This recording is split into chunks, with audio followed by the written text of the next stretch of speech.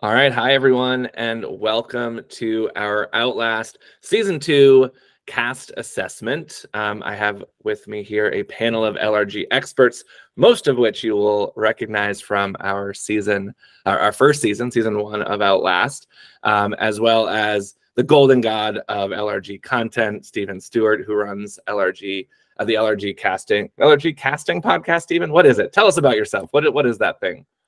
Um, hi, my name is Stephen. I am one of the podcasters for the Live Reality Game podcast. This past uh, six months, I've been doing a lot of deep dive interviews with uh, various hosts from games, and Justin was able to come on and talk with me some, and so that was a lot of fun.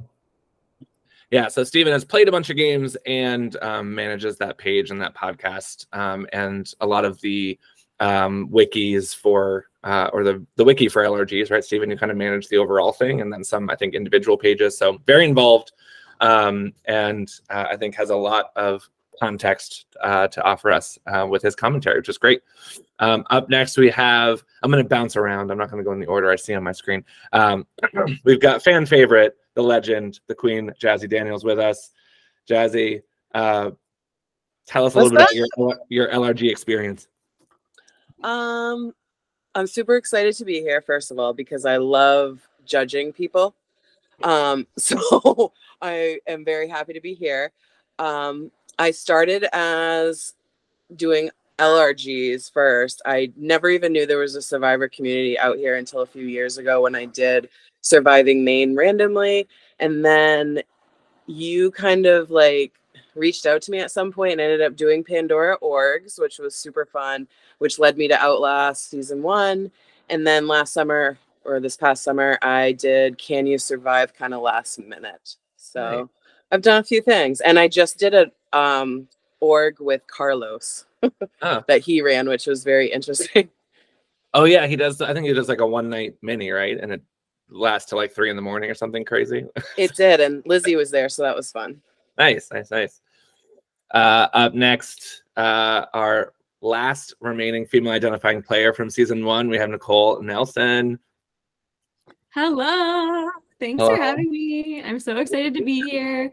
Um, I love the LRG community. I actually had no idea it was a thing like two years ago. I didn't even know the org community was a thing. And I played an org called Voyage, which is premiering this Saturday. Y'all should watch it.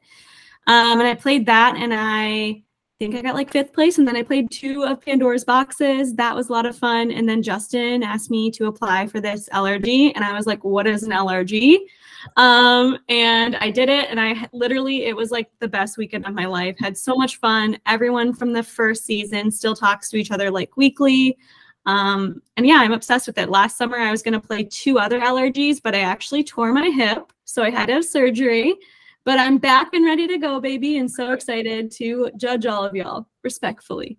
Yes. Is that a quadball injury? Was that what it was from? Yeah, so I play quadball. It's a full contact sport. And yeah, I tore my hip from a mixture of like not stretching enough because you have to do that when you're older and uh, being tackled. Nice. Wow. Yeah. Wild. And uh, spoiler alert for those of you who haven't watched season one, we also have our king, our champion from Outlast season one, uh, and a very close five, five uh, four three vote, um, which is still debated to this day. I was down in Florida uh, and German told me all the reasons why he should have won, but we have our winner here. It is Nick McGrail. I think he'll always say he should have won, but I mean, I went away with a win. Um, but anyways, uh, Nick here. Um, was my first LRG I've ever played. I didn't even play an online game before. Obviously, I've watched Survivor for quite some time. Um, but it was such an unreal experience it's kind of surreal watching these players then kind of get back into there.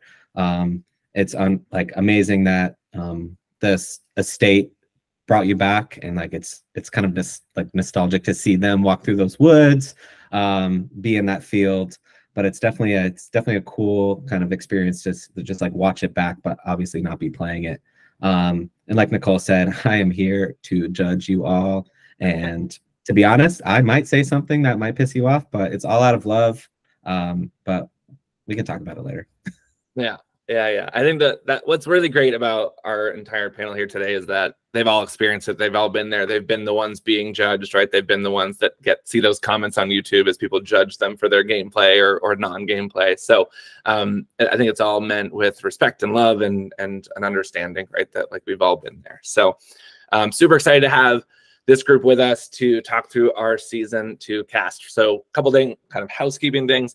One is uh, season two is just uh, episodes just started being released. Uh, we released one in December, and the second one um, released last Sunday. Timelines are all weird. Uh, the seventh, so that was episode two. So two episodes are out right now, um, and we actually purposefully do the cast assessment after those first two episodes to give people an idea of the cast and the players. Um, it's really hard to kind of just go into a cast assessment, not really being able to see anything, see anything that they've done, or kind of uh, any of their early thoughts going into the game. So we did this last season. It worked really well. Um, we got a little bit of flavor of each of the players before we did the assessment. I thought that worked well. So we're doing it again um, this year. So we hope that you will uh, check us out on YouTube and um, watch those episodes. And I'll kind of have a link here at the end for for you um, to go check those out. Um, applications. Oop, hit the slide. Uh, applications for season three, which are this Jan, uh, this January, this July, uh, are now open. So they opened uh, on this past Sunday as well, and they're open until February 17th. Um, so come play. We would love, love, love for you to apply. Um, and uh, yeah, come experience uh, the woods of Central Massachusetts and play our crazy game.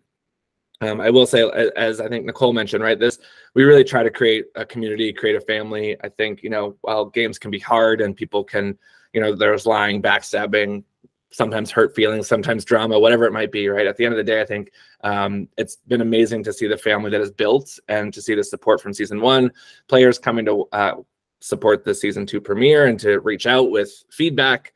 Um, so we'd love for you to be a part of the family. So we hope that you will check us out on Facebook. I know we should get an Instagram. I'll do it. I promise eventually. But for right now, reach out to us on Facebook um, to find that link. Um, and uh, we hope that you'll apply. And I will just say really quickly, we really encourage you to submit a video. Um, we're getting to the point now where we're getting enough applications that like videos really do matter and you can really differentiate yourself with a video. Um, and we do say that in the application that um, those who do submit a video will be prioritized. So keep that in mind um, when you apply. All right. A um, couple other just quick housekeeping things before we get jump in. Um, this is meant to kind of be fun and casual. If any of us need to step away to use the restroom or like let the mailman in or something, mailman in, I don't know what that was, but like let uh, you know, let their dogs out or whatever it might be. Um, you might see people pop on and off the camera. That's totally cool and fine. Uh, meant to be kind of very chill. Um, and uh, I think those are all the big things for now. Um, so what we'll do is we'll basically everything is being done in alphabetical order. So we'll um, so there's no like spoilers and orders or anything like that that we've we will be discussing, folks. So we're going to start with our Nebi tribe. Um, this is our, our blue tribe. Um, and we're going to just go through everybody alphabetically.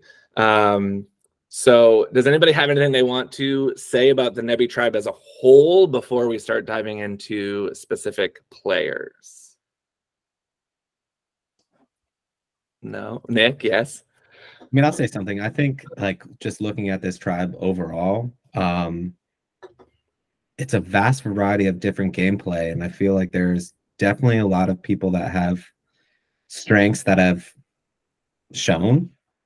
It's definitely going to be it's going to be neat to see how it plays out.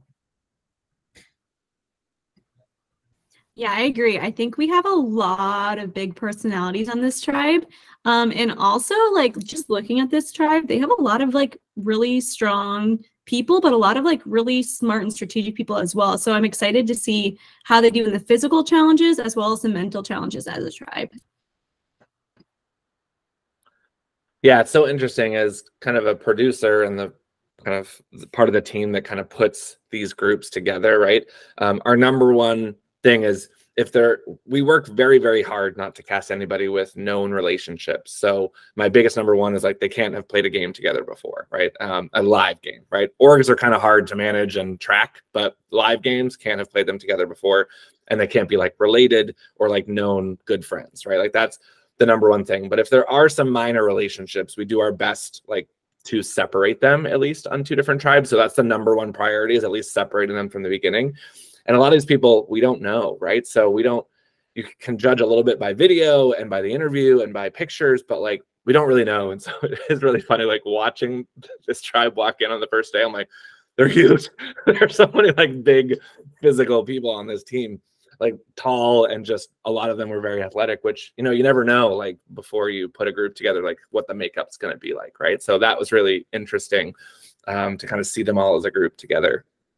Um, all right, so up first, again, alphabetical order, we have Amelia, who's 25 from New Hampshire.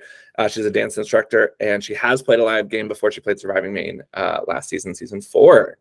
Who wants to kick us off with Amelia? I'll say something. I think in the what's in the box the carrot in the box challenge, I think she had my favorite rendition of it. I know she doesn't win her round, but I think I liked most how she handled it in the round, and that and that, that was a huge plus for me.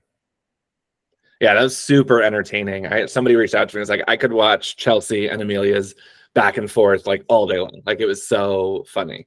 Um, and especially for someone who, from my perspective, is a little more soft spoken, especially compared to, the rest of those on our tribe. Like to see that little bit of sass and like fire come out during that was really fun. For those of you that don't know, uh, in episode two, there's a challenge called Carrot in a Box. It's a reward challenge where essentially you're trying to manipulate another person into telling you whether they have something in a box or not. Um, it's based on a UK game show. Um, so that's what we're referencing. But yeah, I, I love that interaction as well. Anybody else? Shout out to 603, New Hampshire. Um, no, she's definitely quiet. Um, I think it like it's definitely going to be neat to see how Amelia plays the game. Um, a quiet person can go quite far, like very far. But when she was kind of saying how she would win was like controlling the vote. And I'm wondering like how such a quiet individual is going to be able to navigate and like drive those votes forward. Um, but kudos for her picking the the food um, from the jump when they did the bag toss. Um, but it was definitely a definitely a quiet contender here, so it's definitely going to be neat to see how far she goes. All right. Anything else on Amelia? I feel like I wrote so I did a lot of notes and I did episode one and episode two, and my notes are pretty different for Amelia for both episodes because first episode I kind of was like, you know, is she going to be strong enough? Is she too quiet or is she going to be a silent threat? And then when that carrot box thing happened, I was like, I love her. And now she's like likable to me. So I feel like I just needed to see a little bit more of her. So, like Nick said, I'm excited to see where her gameplay goes. And I hope she stays under the radar and does some some sneaky shit. So I'm excited to see her play. Totally agree with you, Jazzy. The first episode, I was like, honestly, I don't know how I feel about Amelia. I don't know if she's going to make it past the first vote. And then after seeing her in the carrot in the box, I was like, okay, she's sassy, she's smart, and she may be small, but she's mighty. So yeah, I'm excited to see how she navigates this game. And one thing that we we don't see too much um, in the episodes, but um, one of the few kind of very minor connections in this cast is that Amelia is actually uh, the now wife, uh, um, at that time girlfriend or fiance of Will Hermanot, who both helps us with our helped us with our graphics for our first season, but ha- is also has played uh, games out there, um, both online and live games, and uh, had played. So her now husband Will um, played Survival Challenge with me and Rachel. Rachel, who is on this cast as well. So there's a light connection there, and uh, Amelia did recognize that, and um, we'll see if that ends up playing a factor in the game. Hasn't so far in the episodes, but there's a little bit of a light, like, hey, you know someone I know, kind of uh, connection there. Um, and also, Andy is a producer of Survival Challenge, so she kind of lightly knows him as well through that connection as well. Um, yeah, I think from my perspective, I think she said something early in episode one about just being underestimated. I think, you know, everything you all just said, right? Like kind of maybe underestimated her a little bit in that first episode. And then you start to see like where she's where she's coming out. So um, I liked that she she is self-aware about that bit, that she's often underestimated and can hopefully take advantage of that. All right.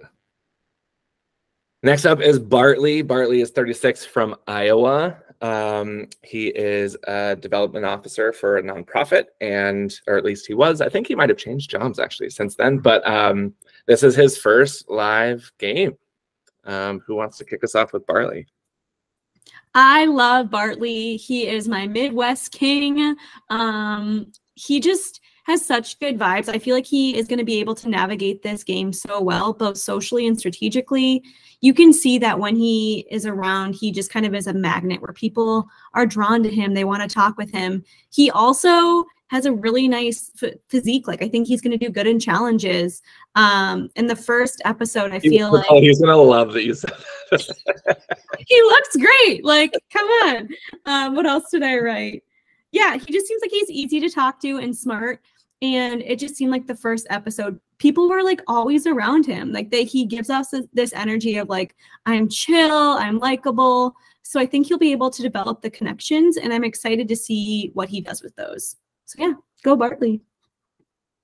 That's funny. He texted me after the the last episode, and he's like, "My friends, uh, I think someone on the Yellow Tribe called him like a blonde, gym Muscly guy or something like that." And he's like, "My friends will not stop calling me that now." Um, so uh, that was that was funny. That was the, that was the scene where the, the one of the Yellow Tribe was complaining about him, right? He's kind of like kind of rubbing in the victory to his face, to their face, and I was like, and that that makes me a little bit worried because even though he might do well in his tribe, he might be getting a target from the other tribe as a result, and so that may given that was left in the episode, that may be, that may bear fruit in the future. I don't know. I think it was I think it was Jacob that did that. Yeah. Um, I'm talking about those five inch seams, Bartley, showing off those legs. You're like a gazelle running during that episode. It was kind of crazy. I mean, hopefully you have everything kind of tucked in up there, because if not, like something might pop out.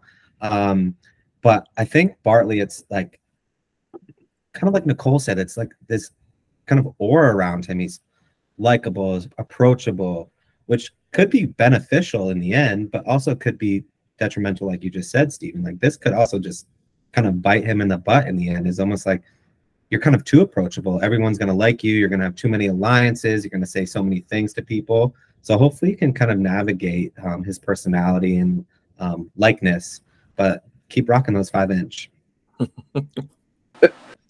I love him. I met him at the premiere and he is exactly what you see on TV um, or on YouTube. He, I think like he wasn't in the episodes a ton. I feel like I'm like was like hoping for something bitchy something like that. So that he too nice, like, too charismatic. He wasn't. Uh, is, is, every, is Jazzy cutting out for other folks?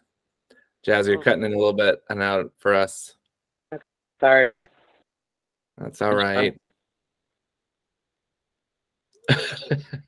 Maybe if you want to try turning your camera off, that might help, and uh, then we can at least hear what you have to say.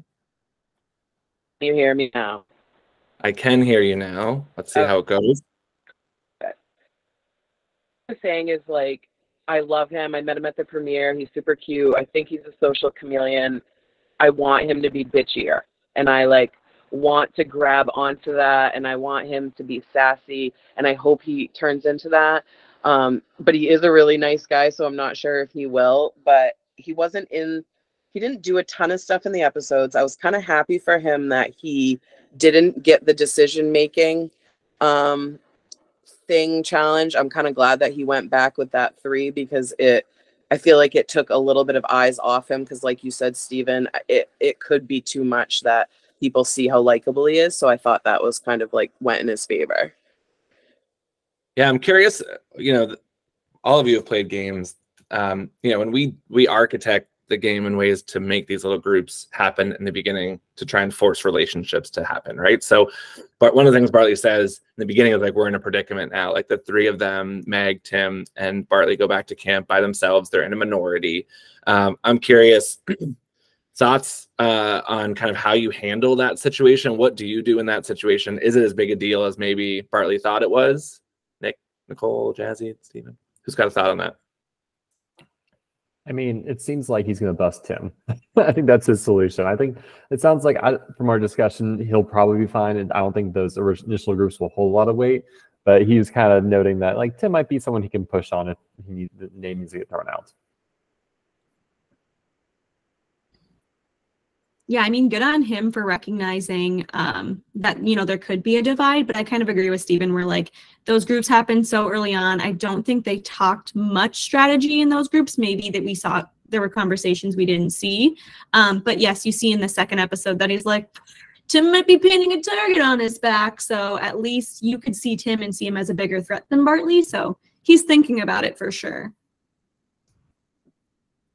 I would say, like, yeah, he might think Tim is a threat, but watching him compete out there, like if you're watching your other castmates compete in those type of challenges or awards and he's running around like he did like that to me would be a threat right off the bat like um but yeah i agree like tim definitely gives that more kind of brawn kind of structure so um i think it definitely just depends on whether or not he continues that relationship that he built with those uh, the other two, or if he kind of decides that maybe it's not his not his alliance, um, and kind of decides to then have those conversations. Uh, well, we can talk about this now, or we can wait until we get to um, Rachel. But uh, we see a very small snippet at the end of episode two where Bartley finds a clue snippet with Rachel at the very end at the premiere. So we see in the premiere when she drops it um, and then Bartley runs over to me goes, I found that with her. And I was like, Yes, I know. I know what's coming next. So um, we can we can wait until until then. But um, unless anybody has any thoughts on kind of Bartley's part of that, but um, maybe that's better to chat about when we get to Rachel.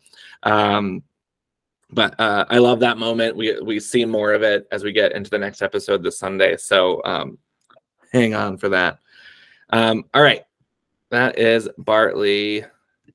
Uh, next, we have Hannah, who's 32 from Massachusetts. She's a software engineer and a dancer. Uh, so a little bit of everything. And this is her first LRG. Who wants to kick us off with Hannah? Hair and lashes. This is all I'm gonna like know about her. She said, I didn't learn how to make a fire, neither did I. But she said, I made sure that I dyed my hair and I got my lash extensions. Um, I mean, I think Hannah can definitely compete. I'm definitely looking forward to seeing what uh, she's able to kind of uh, bring out into the game. Um, but good on you for putting the kindling kit higher up. Um, that definitely uh, helps out your tribe a lot more for sure. I love how she's at the decision booth and she's like, wait, do we need fire for this game? I'm like, girl, what? Yes. Um, but you know, she was like, I'm intuitive, like this has to go up higher on this. Um, yeah, I like I like Hannah. She seems like she can easily manipulate her social game, though I don't know how much further that's gonna go from there. Um, we'll see. Yeah, good vibe so far from Hannah, but I don't know how well she'll maneuver from just her social game. I think one of the challenge of like your first game you play, it's so easy to get caught up in the moment and just like, oh my gosh, this is all new and I'm experiencing it the first time. And I think Hannah's likely going to have a fantastic experience just kind of going in and just enjoying it for what it is. But I think the challenge is not being caught up with that and being able to step back and have more perspective of where the game is as a whole. So that that's what I'm not sure how she'll do with that. Let me see if this will work. Am I cutting out as I talk? Nope. You look okay. good so far. Perfect. Um, I wrote a lot of stuff about Hannah, and she, to me, gives off main character energy. I really love her storytelling. When she was reading the challenge paper or whatever it was that she was reading, it was like, oh wow, she could be a like host of a show. Like she was right. nice. I liked her. Am I cutting out? No, no, you're not. I'm just saying, uh, don't give her my hosting job. That's all. I know, I know, but she she could do it on like live TV. She was great. Um, I like the way that she stepped back from the challenge or just from from the game every time. You're hearing her like speak out her game, and I really like that because the way she's thinking has long game kind of feel to it. So I'm watching her. I got my eyes on her. Nice. Anything else? I think the one one thing that impressed me, right, um, in the brains brawn breakdown, right, like she clearly steps up for the brawn challenge, which I think, you know, um, it's I, I love ever female identifying players are like, fuck yeah, I'm a brawn. I'm gonna come kick ass with what people might think of like mostly dudes like Tim is gonna go do a brawn challenge, right? Like she's like, yeah, I'm, I'm in that, um, which I loved that. I love that. And you, you hear a little that's part of what the little bickering was, I think, um, from the Poda tribe is I think some comment was made about how, oh, the yellow tribe must not think they're women or, you know, brawny or whatever. Um, you know, they had Kira there, which was great. And I, you know, it was only one more, one more female identifying player, but it was like, it became a thing. So I was impressed that, um, you know, Hannah and, and Rachel both, right? They stepped up um, in that, that, because that can be intimidating, I think, um, for anybody. Like I would, I would never step up for a brawn challenge either. Um, so I think, um, and that was interesting that when we decided to do that dynamic, you know, I, I was, I was a little nervous. Or like, are people going to send all their their men off to do the brawn challenge, right? And like, what is that going to say about the politics of that tribe? Uh, so it was it was interesting. I liked I liked the breakdown there, and that she raised her hand for that. Um, any other thoughts on Hannah? I mean, Hannah's super cute, and I'm cheering for her. So we'll see how she does. Excellent. All right. Up next is Jeff. Jeff is 29 from Massachusetts. He is a product manager. He has played Millennium Park Season 2, and he's sexy and he knows it, according to his intro video. Who wants to start us off with Jeff?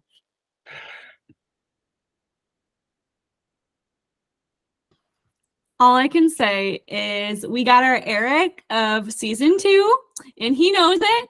Um, yeah, we will see. He is, you know, very cocky. Obviously, he probably has done well in many things in his life. Um, yeah, he's athletic. He has an idol, which is great for him. Um, but I don't know. I see him as a threat. He's short, he's strong. So let's see how he does with that rock he has. The idol. Yeah. Thank you for clarifying what you meant by rock. I love Jeff. He's funny. I hope that I feel like that we have a bunch of one-liners coming our way this season. I hope because he said some funny shit. Um, I love that he took the idol, of course. Like I'm like, yes, take that idol, Jeff. Like take it. Um, one thing though, he kept saying something about like, yeah, I'm telling people that I'm not good at balance, but he killed that balance challenge with the ball. And I'm like, Jeff, don't use that. You need to change it up because you just proved that you're fucking kick ass at balance. But Jeff is a killer. I like his personality. I love his athletic ability. I'd want to team up with him if I were um, on his tribe. I want to team up with him too, Jazzy. Um, but I would say like a couple things was okay speed. Like when he took off during that challenge, I was like, he was zooming.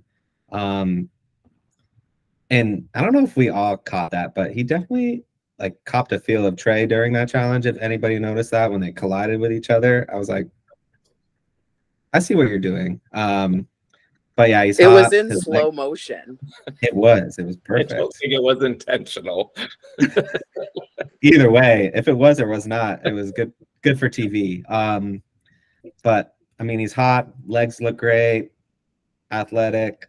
I mean, I don't know what else he can say besides he has to like figure out how to carry around that rock for the rest of the season, which is wild to me.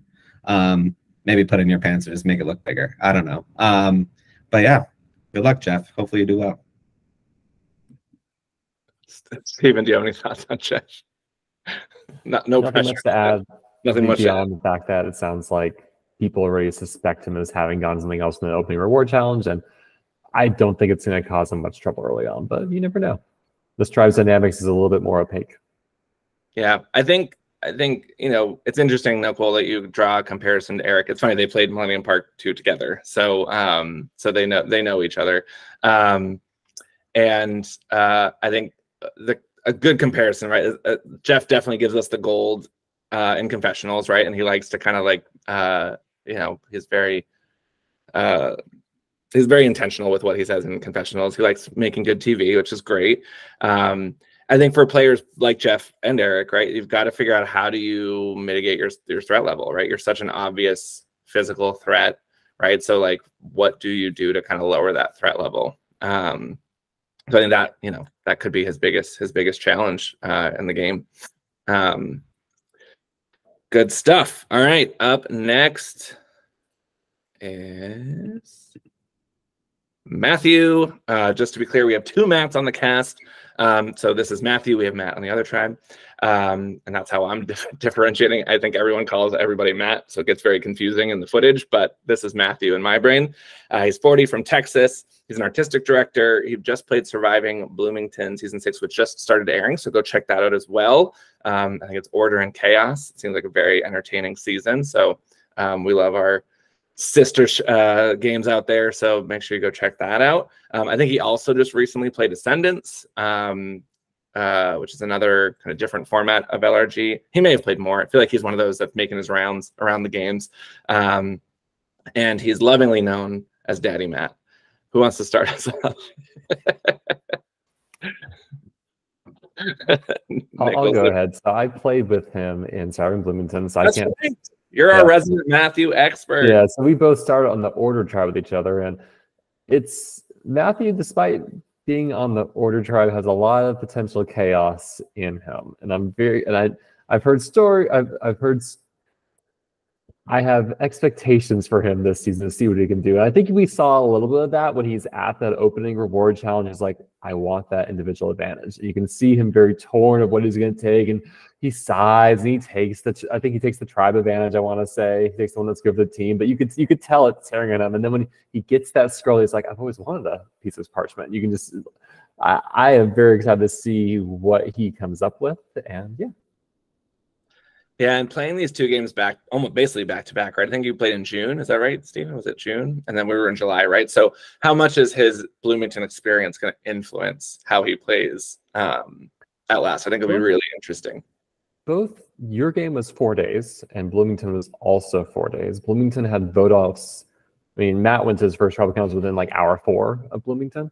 And so I'll, I'll be curious to see how having a little bit more time to breathe will change things for him, especially in terms of building alliances. All right, let's take a pause. Let's look at this photo. I mean, look at this power stance. Even the shorts, like he's everyone's hitting on these seams this season. it is perfect.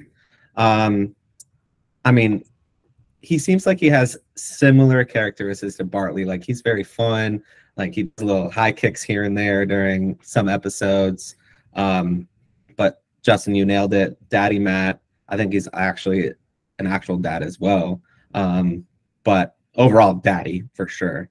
Um, but I think he he made the right play, taking the tribal advantage. I think at this stage, um, especially with Stephen saying like he definitely has um, some chaotic behavior that he might be able to stir the pot here and there. But I think um, the start of it seems great for uh, Matthew for sure.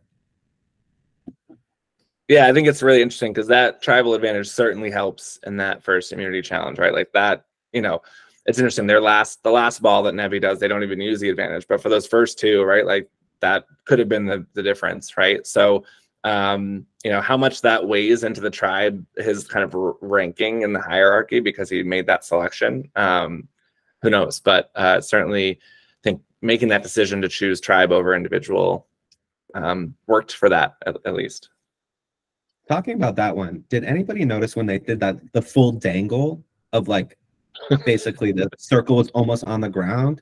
I was like, Yeah. what, are, what are we doing here?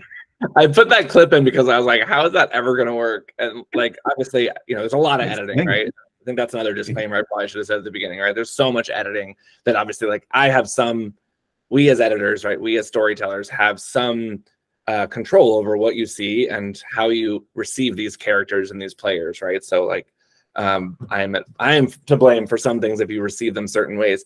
Um, and so little clips like that, there's so much that goes in the cutting room floor. But I just I love that moment where they're like, whose idea to like drop the plate to the floor and think that they'd have like control over that. It was so funny to me. I was like, that's an interesting strategy to try. Um, but I, I that I mean that challenge took a very long time. And so I think at that point you're trying anything, right? Let's just try any tactics um, to try and make this work because it was very, very challenging um, to to get those balls. Definitely a different balls, balls, balls than season one for sure. Where was the running, Justin? Why did you take out the running? Trust me, there's plenty of running to come. We've become known as like the running LRG. Um, so uh, yeah, there's plenty of work. I've been told I have to tone down the running for next season. So um, we'll see. We'll see. We'll see. Um, but yeah, I think Matthew, like his energy and his application was just like off the charts. Like you can tell he loves this game. He has so much passion. He's such like a just a dynamic character that he was like a must cast. And then I saw him on, the Bloomington cast. I was like, damn it, I wanted to have him first. Um, but we have him kind of simultaneously, so which is kind of nice. Um, but yeah, he's he and he's been so like supportive uh, of the game um, since it's been over as well, um, which is which is really lovely. Um, any other thoughts on Matt? Matthew, Matt. I he just makes me smile. I like his stance, I like his seams, but I stare more at his smile and kind of like Bartley gives off that same energy like Nick said. Um he seemed a little hesitant, I would say like in the first couple episodes, but I don't know if that's editing or um, if that's part of his gameplay. So I'm interested to see where his game takes him.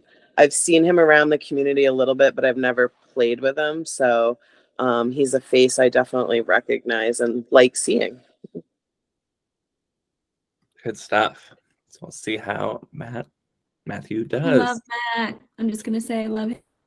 All right. Up next, we have Meg, who's 54 from New York.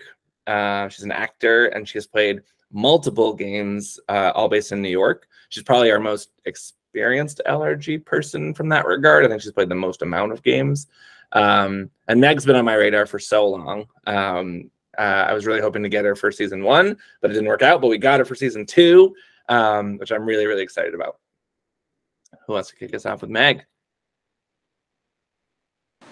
I can start with Meg. Um, she definitely gives off actor vibes. So she, I, you can tell she's an actor. If she would have tried to say she was something else, I'd be like, no, she's an actor. Um, you can tell. I absolutely love like her arm movements. Like she's very, um, I don't know, like emotive with her emotions. And so I like watching her. And I absolutely loved her stance on the balls, balls, balls challenge. She killed that. Like they did so good because her she was leading it. I give her all the credit. The other team helped. I mean, the other players helped too.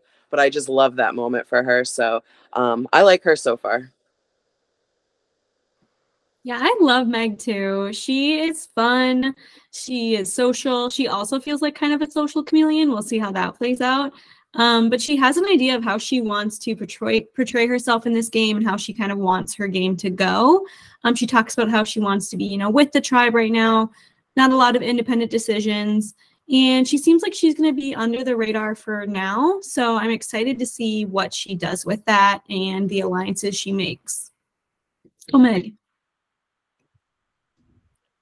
Yeah, I agree, and I think like she, as of so far, it looks like she can analyze any player out there. Like she can sit there and like pick them apart, but obviously not vocally. Like she'll just sit there and it'll all come into her and be like, okay, that's not a person I'm going to work with, or so be it. But yeah, it's definitely neat to see how uh, this this game plays out for Meg. Um, I thought from the editing side of things, I felt like she was talking a little too much for my perspective.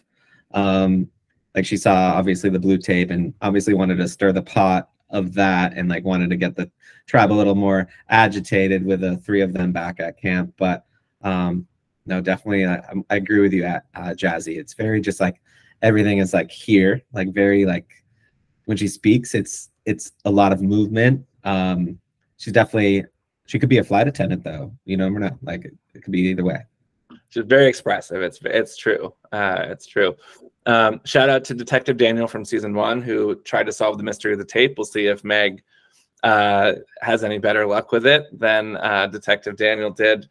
Stephen, any thoughts on Meg? Do you know Meg from the? Have you you haven't played with Meg before, right? I've not played with Meg. Um, I, have seen she's in the one Star of New York season that hasn't aired yet, so like haven't seen her play yet. But I've liked her every time she's been on camera. i am rooting for her, and I but I like the fact she found the tape. I was like, okay, that's really astute. She she's keeping her eye on things. Yeah, yeah, she's certainly observant, which I which I liked. Um, I liked about that uh, about her. Um, another shout out to our our our most senior, our oldest player uh, in the game, being a, a, female identifying player. Once again, um, we're loving our badass uh, older players. We hope to see more of them in the future. And by older, I just mean anybody that's older than 30. There's so many people in this community that are like 30 and under. I, I love to see people like. Oh no, 30. I'm an older player now. You're an old player now, Stephen. Welcome to the club. Um, Daddy Stephen. Yeah. Hey.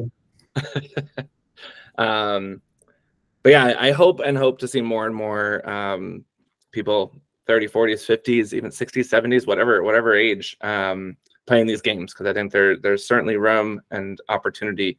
Um, so uh, keep those apps coming in. Um, all right, that's on Meg. All right, up next we have Peter, 23 from Massachusetts. He's a technical writer, and this is his first LRG. Nicole, tell me what that face is about. Whoa. This man is only 23. I'm sorry, I'm shook. I'm so shook by that. Um, wow. Okay. So I don't know. I like Peter. He says he's like strong and strategic and he's going to like really put his foot on the gas at the end. So we'll see how that plays out. I like him so far. He's funny, he's likable, he seems like he's analyzing players. So I don't know. He could, he's kind of in the background right now. He could be like a dark horse, maybe underestimated, but he also could be someone that's voted up pretty early. So I don't really know about Peter yet. But yeah, I'm shook that he's 23, but I like him so far. Justin, question for you. How yeah. tall is Peter and who's taller, Peter or Tim? Uh that's a great question. I want to say Peter is like six four. Sorry, Peter, don't be mad at me if that's wrong. Um, I could probably look at his application really quickly, but I don't know how to do that without breaking the slideshow. So I'm not going to do that. Um, I do think he mentions it. I want to say it's six four. It might be closer to six six. It's somewhere in that range. I'm pretty sure. I think he's a little taller than Tim. I'm pretty sure of that. Wait, well, anyone who's taller than me, I root for. So therefore, I'm I'm I'm I'm Let's rooting, rooting for you to go far. Let's sit back. He's slightly taller, right? I mean, it looks it looks like Tim's hunching it. We're, hunching, we're leaning. We don't really know. Um, but yeah, that's uh, he's in that that range. Yeah, he was the one I was most surprised by. Which I know he says it in his application, and I still wouldn't got there, I was like, oh my gosh, you're, you're that's what that looks like in real life. Um, yeah, yeah, yeah. Uh, any other thoughts on Peter? I actually I'm curious. So um, another favorite moment of mine, episode two, uh, is his little banter with Stephanie during uh, in the Box. Um, they kind of bond over Taylor Swift because Stephanie doesn't want to say anything about her box situation. Um, so I'm just curious, like how much those like little moments where you bond over people, like is that do you see that as a strategic thing or just like something funny that happened, right? Like do you do you you know I mean, I, I think you might have captured it in Jazzy. I don't know if you recall our season, but we were blindfolded and we were just talking about Beyonce. Yeah. Um, I think it's definitely it's going to be unique to see if they can get to a merge or a swap. Um, I think that moment definitely can click with a lot of people. I think anytime you're out there and you're just like obviously by yourself, but any type of anything that happens in your real life can come into this these games. Like it definitely like soft spot, right? Um, but I think it'd be great to hear uh, what is everyone's arrow right now on this on this little panel. I don't know what that means. Um, sorry, I'm not much of a Swifty, um, so I don't really know. But I'll just like, you know, I'll just say uh, Evermore. I don't know what that means. I'm very folklore right now. You know, very just like it's very moody here. We haven't seen the sun in 12 days. Yeah, very folklore. Full on reputation is right now. That's everyone's said that's what everyone says. So that's why I didn't want to say that one. So I just said a random album that I knew the name yeah, of. but you should be in reputation as well. We okay, all, all right. Stephen, do you have a do you have an era? Uh, this is even worse because I don't think I do. You could be all the eras. You can be on the eras tour or something. Wha- Whatever whatever album has Hey Stephen, that's that's the era I'm in. Oh, okay. I'm in the did you- red. sorry, I just jumped over it. What'd you say? I'm in the red era. Red era. Yeah. That was the other one I was deciding between. I don't know. Yeah. Um, I don't know enough about the albums to know, but um, good to know. Yeah, we'll see if that uh, if and if that impacts later. Yeah. Did you, Jazzy and Nick? Did you ever did you talk about Beyonce once you swapped it together? Like, did that you rekindle anything from that moment? I think it left like I think it happened organically because both of us have that kind of personality, but I think it did open up a door for us when we were on a swap tribe together. Cool. I mean, we definitely spoke when we swapped for sure. We And did. We couldn't make something happen, unfortunately. Um, all right. I I didn't say anything about Peter and I do I- I really like Peter. I'm kind of shook that he's 23 too because I wrote he has like talk nerdy to me energy. Like he's got a nerdy sexiness and I didn't realize he was so young. Um so sorry about that Peter. Um but I like I like his approach. He he's might be tall and he might be the tallest, but he doesn't come off as like the most athletic or most like you know powerful person and i i like that in an ally so if i were on his tribe i i kind of like that type of an ally so i think he may go far and i've got hopes for him All right. Any other thoughts on Peter before we move on? Next up is Rachel. Rachel's 26 from Massachusetts. Uh, she works for the Special Olympics and she played Survival Challenge Season 7 with me. Um, so I've played with Rachel. Um, she was my downfall, maybe. I don't know about that. No, my own allies were my downfall, but um, Rachel was my target at the time I was I was on the way out. Um, so thoughts on Rachel? We see her opening moments. Let's start with you, Nick. Opening moments. She gets that clue. Same thing Nick did. Day one, minute one. Uh, is that is that good? Is it bad? What what you, what were your thoughts on that? Well, damn, she did better than I did. Um, no, I think it's it's she did it very slyly. I think obviously she did the same way I did. She should have just ripped the whole tape off. But um, all I can like right now for Rachel, and it's unfortunate, like it's Beyonce, but it's like eat it, eat it, eat it. Like that's an like all she's just like eating that. I'm like, good for you. You probably kept that in your pocket. You don't know when you're going to eat again. Like you should have just taken another slice off of that and had a little snack. Um, but first of the clue box, obviously left the tape. In her um, video, she says she's awesome. I think she brings off that type of vibe, just like a very chill individual, um, very athletic. Um, but yeah, I mean, she has the idol, so that's that's and in early. Um, so that's definitely a game changer for sure. Um, I mean, I didn't get my idol till way late in the game, so I can't say for much. Um, You needed it, But- right? when you need it, you have it. Um, but yeah, I think like she put herself in the in a great spot um, during that challenge at the end. Money with the buckets um, and the balls at the end. So uh, good for her. Um, I think I think that it's bright, but I'm a little nervous. Like I feel like she's done enough to be like at the top, but like did she do a little too much to then have a target on her back? Other Didn't thoughts? she get the Gatorade in that opening challenge? Yeah, so it's interesting. She goes in first into that and decides to choose the like least controversial thing and put it in the last spot she could put it in, right? So she didn't take the like a tarp or flint or any of the important things and put it in one. She chose probably the least consequential thing and put it in the last slot, which was really interesting um, as a strategy. Um, and she says it. She's like, everyone behind me is going to know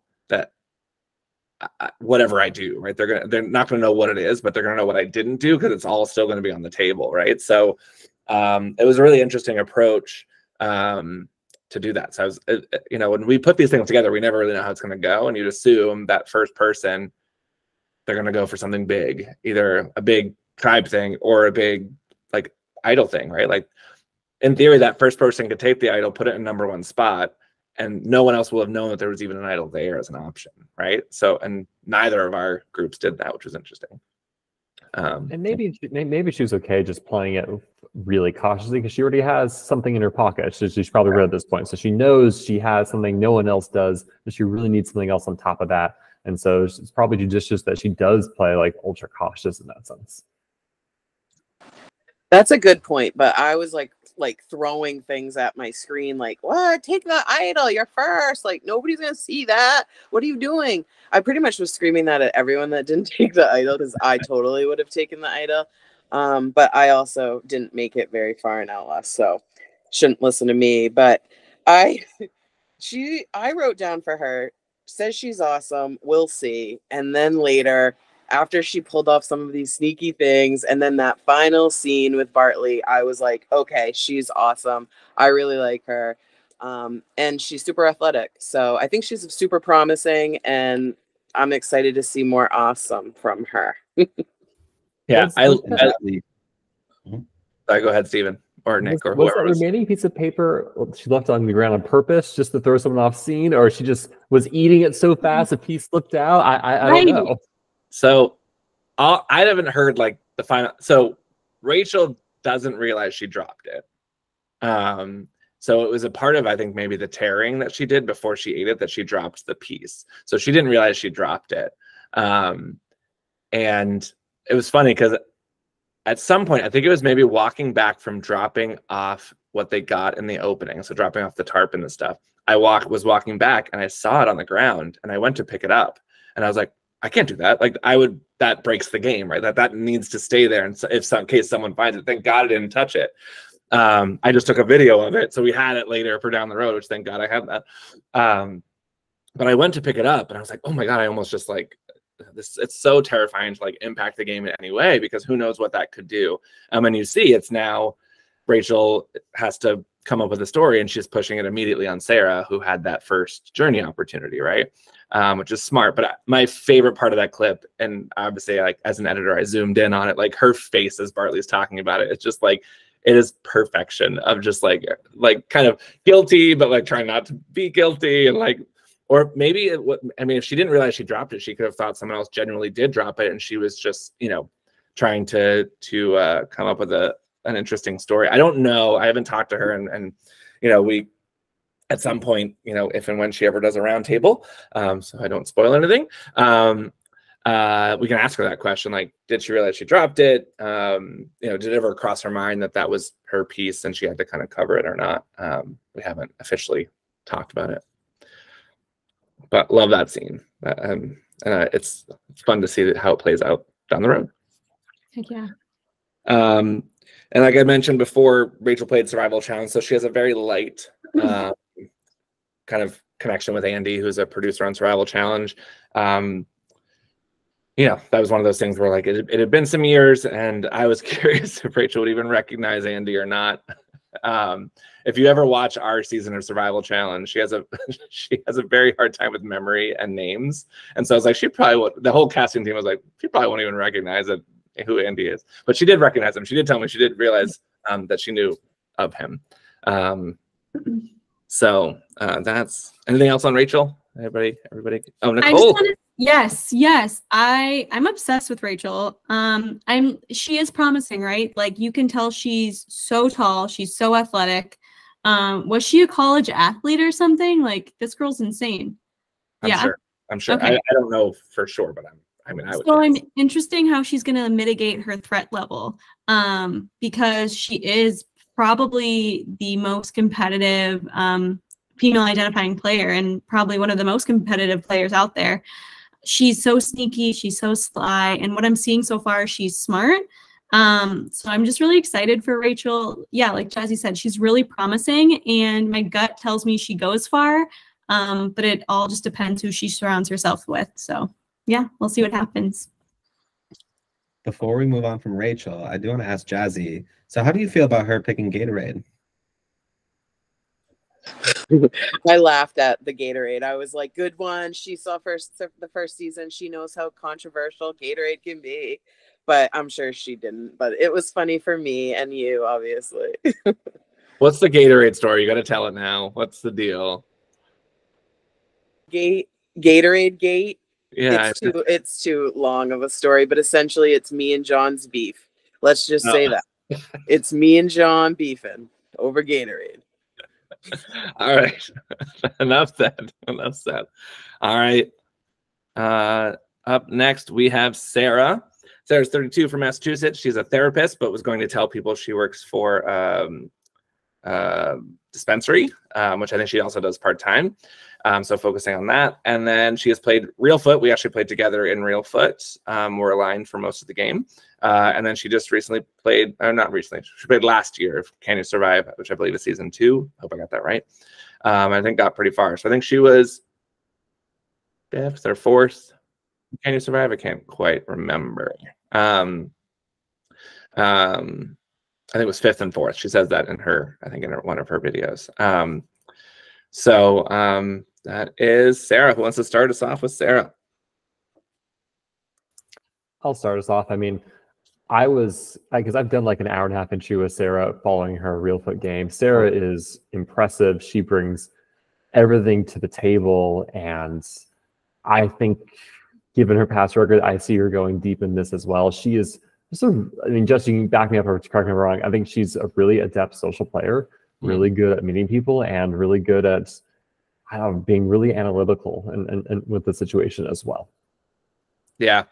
Yeah, absolutely. I mean, we connected very quickly at Real Foot, both being from Massachusetts. Um, so that was something that we bonded over pretty early. And it was one of those just like we kind of knew we had each other's back. And uh, had I not made an earlier alliance with Shane, like seconds into the game, Sarah probably would have been my number one. Um, so that was a really hard kind of once we got down to it, um, making that choice between the two of them um, was really, really challenging. So, um, uh, but yeah, she's she's she's very good socially, very um, at least from my experience, right? And I think we're seeing um, early scenes of um, you know her starting to get blamed for some things early on. So I wonder how she's if, if and how she'll be able to recover from that um, using that some of those social skills. Anybody else? Who else?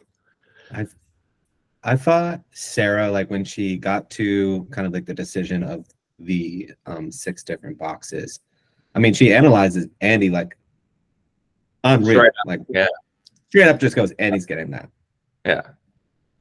And then in my mind, I'm like, I feel like Sarah's such a strong player that, and maybe it's just me, but like w- for her to get further in the game, she's going to need something short to get rid of some players like that are going to target her. I don't know if that's how I would play. I have no idea. I've never seen that box before in my life. So I can't say I would do one thing or the other. Um, there is just one thing I need to tell Sarah um, during the balls, balls, balls. She says, um, that's a lot of balls. And there is no such thing as so many balls. Like it should just always be that way. So um, kudos Oh. to you. Keep it rolling. Um, I think you're a great player, but it's definitely going to be. You seem like you're going to control a lot, so hopefully you can kind of keep that under wraps um, and kind of continue your game um, all the way to the end. So I'm curious. I'll come to you again, Nick, um, real quickly. Uh, so she loses her vote, right? We see that. Um, and you worked, obviously, your closest ally, German, didn't have a vote for that first tribal um, based on the boxes. How much do you think? I mean, it wasn't you directly, but someone you were working very closely with. How much does could that impact the game? And and you know, you're probably the closest person to kind of talk through the strategy of what to do in that situation. Yeah, I mean, obviously he lost it. So she's got a link with somebody. And I haven't seen, obviously, in these episodes, I don't know who um, her alliance is with. And that's the only person you can say. Like, you can only tell that individual, yes, this is happening. And if that's going to be your person that you're going to take for a little while, then you're going to have to protect them. She's got to trust somebody. If she doesn't trust somebody and get an alliance with, or leaks out that she lost a vote, like and said all the things that she said during kind of when they kind of reconvene as a tribe after the whole situation. I think a target could be on her back right away. Yeah, it's interesting, right? Because she tells everybody it was an empty box. So if anybody else goes there, reads the opportunity, right? And it says if it's an empty box, you lose your vote. There could be an assumption she doesn't have a vote, right? So it's interesting that for me, it'll be interesting to see how that plays out, if and how that plays out. Um, if people kind of make that connection of like, oh, she said she had an empty box, um, so that must mean X, or she's lying, right? And and covering up that she got something. Um, Better than what Andy said. we'll get there for sure. uh, any, any other thoughts on Sarah? I like her in a very devious Mr. Burns kind of way. Um, she seems crafty. She seems secretive, but she seems really smart and really powerful. I agree with what I don't know if it was you or um, Stephen or you, Nick, that said that she needs to kind of keep that under wraps. I can already see it, but I feel like I've already met her, and so I've kind of saw that in person, and just seeing it from the outside. So I'm not sure how people are seeing her in the game yet because we haven't seen a lot of those type of confessionals, but um, I like her. She seems sneaky. Right up Jazzy's alley with the sneakiness. And I remember when she came back and she was like, I mean, if you want to read it, you can read it. I was like, okay, sounds good. And she was like, You can pat me down if you want. I have nothing. I was like, Okay, girl. Yeah, she's smart. Yeah, she's been through this before. You know, that's what I was seeing from that. All right, and last but not least, on the Nebby tribe, we have Timothy um, from he's 29 from Massachusetts. He's a software engineer, um, also like a I think a competitive power lifter and a Dungeons and Dragons master. Like he's a, got a wide variety of hobbies and interests. Um, and this is his first LRG. Um, and one thing that I did not know until way later is that Timothy actually met Val at some party where they both knew people at the same in the same way, and so they did meet prior to this game, which I did not know until they were in the game, um, or it was maybe just before. Um, uh, I think I found out maybe the week of the game or something like that. Um, so uh, again, light lightly. I don't think they talked about the game together. At least I don't. I wasn't told that. Um, I don't think they knew the other person was cast, but they at least hadn't met prior to the game, which of course made me very angry. Um, but you know, that's what happens in life. Um, thoughts on Tim? Yo, why is this man lifting this box by himself? Like, are you are you just like trying to be a threat right off the bat? Like, are you just leaning into it? I just don't get. He's like, I got this by myself. Like, you know, like, come on, man. Like, at least act like this is gassing you out a little bit. Um, I don't know. Tim is he's funny, I guess, or Timothy is funny. Um, but I'm worried. He is such a big threat. Like he is a big dude. And you know, you hear Bartley already called him out for being kind of on the outs. Um, he does have kind of a unique personality. Like I love myself some nerdy people. Um, but I'm interested to see how he's going to integrate himself in his tribe. Does he have an alliance at all? Is he getting close with anyone? But I don't know. If I went to a first tribe, I'd be like, let's just get this guy out, you know? So Godspeed for Tim imagine playing tug of war against this human. Like, I would just let go of the rope and say, "Take it." Um, but yeah, you're right. I think it's like the muscles. It's, I mean, obviously from his video, he does everything. Like this, he's a jack of all trades. So obviously he has enough in his repertoire to like go far. But I'm hopefully he doesn't like just build off of that kind of like I'm a muscly dude. Like I'll do, I'll stay around camp. I'll chop down trees for you if you need it. Um, he does say hard a lot during a lot of his like just anytime he speaks, which I'm just like, that might be a throw off for me. I don't know about anybody else, but like, even just like, damn, that was really hard. Oh, this is really hard. Uh, but like, nothing's hard for you, bro. Like, look at your muscles. Well, you wait, pick up me, Jazzy, Nicole, Justin, and Stephen and go on a hike with us. Like, we would have a grand old time on your back. What's interesting though, right, is that that up and down reward challenge, he gets gassed out, right? Like he does talk about how he's not really a runner. And I think one thing that I one thing I really enjoyed was like at one point you see him just kind of laying on the ground, just like trying to like regroup, right?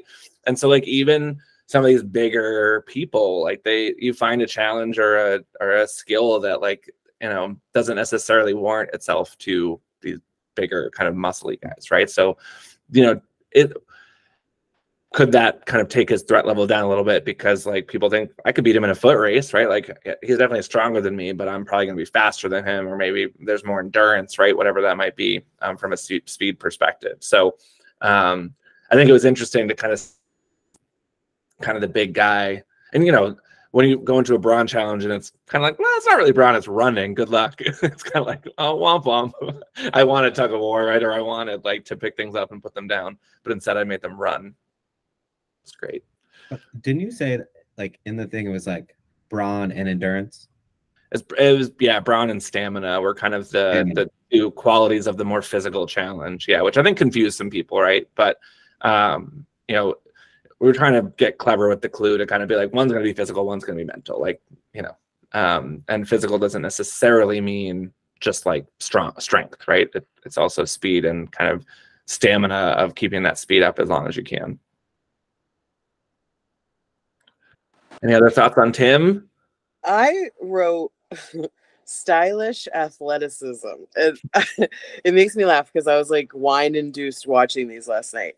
But like I think what I mean by that honestly is that yes, he he's very brawny, he looks brawny, but he really is a brain deep down and it's more like I think who he really is is like a nerd and not really a brawny guy, but he became a brawny guy. So I, I don't think he's super athletic per se. I think he's just strong. And I think that that's okay, but he should play that up so people don't think he's just this uber athletic guy, maybe. Yeah. So we'll see. Yeah. Yeah. Yeah. All right. Any other thoughts on Tim, Timothy?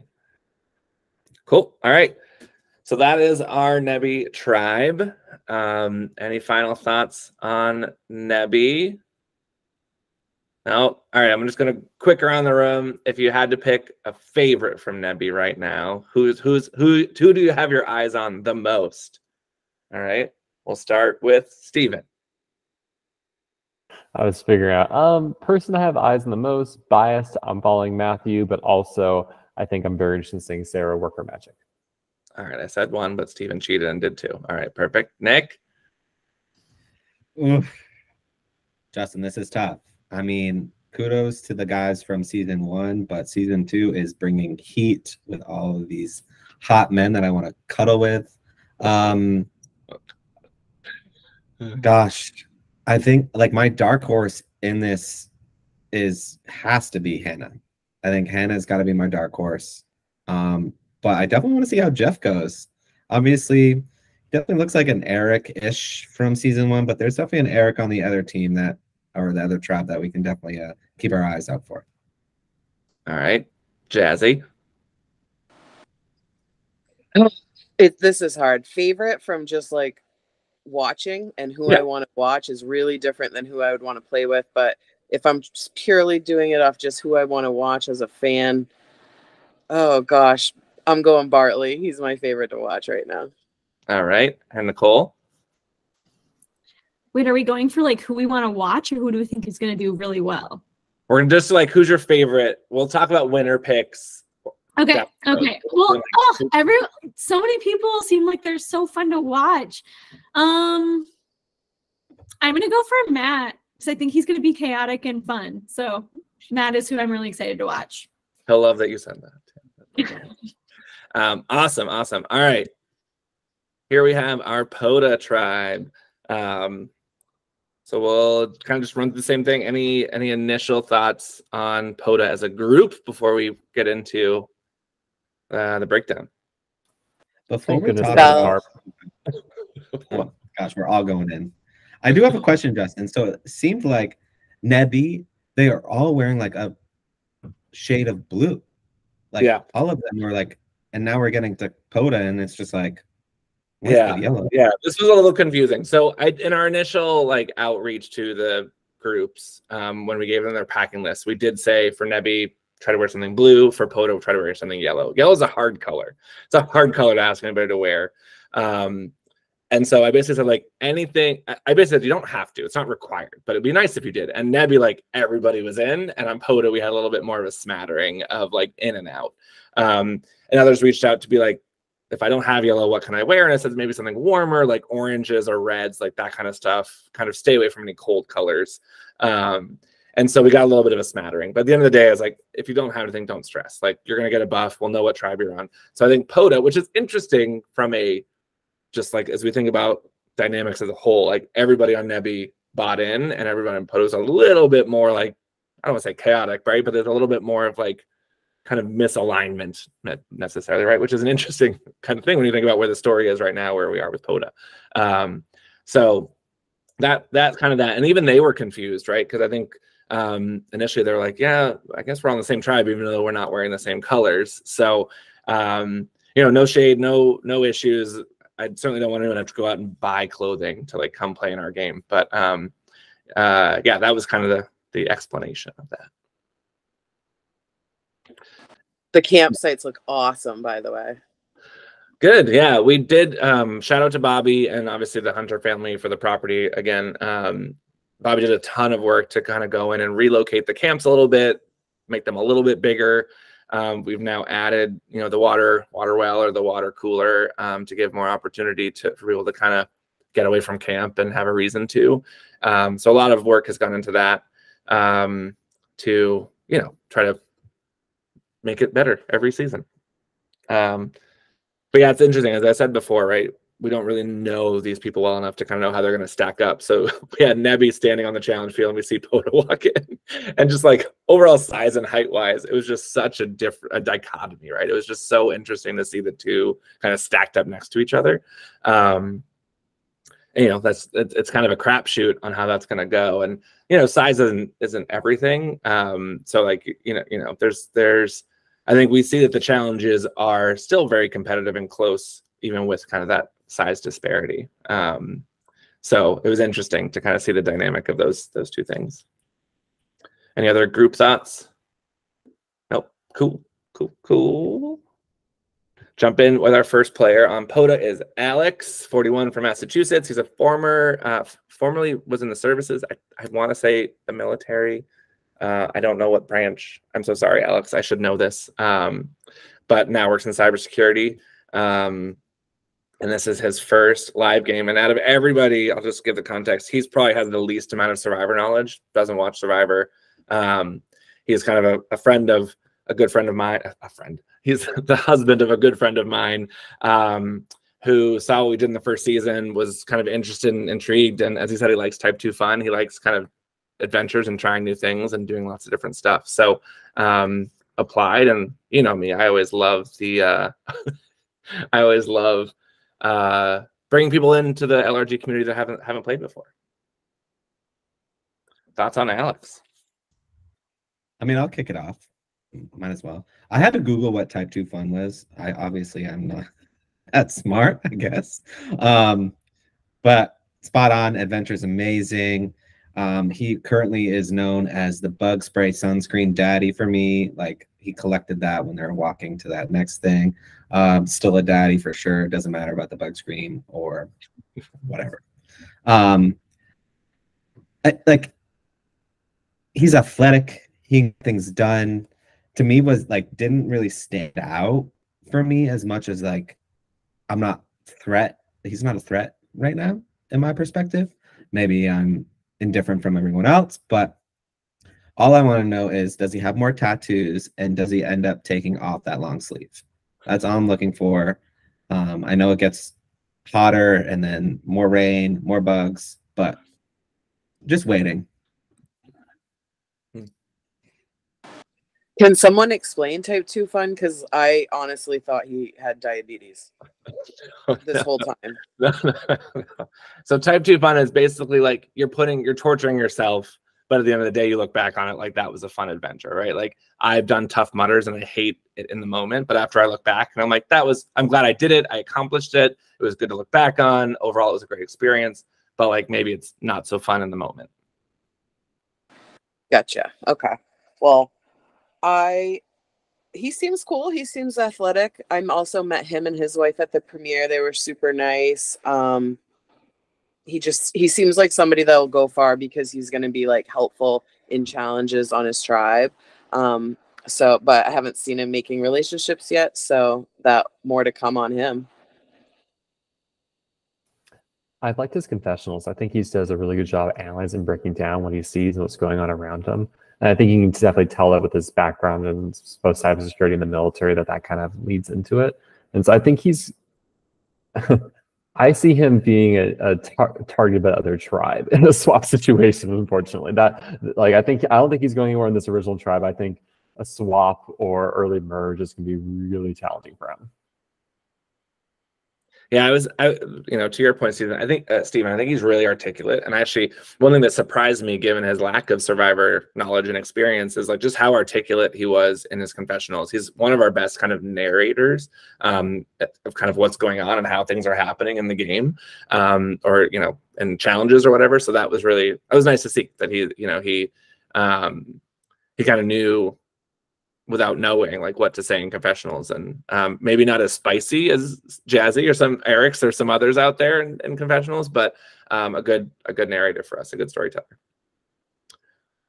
nicole do you have anything I was just going to note that he has quoted or talked about season one a couple of times. So he may not have watched Survivor, but he definitely studied up on season one of Outlast, which I find interesting.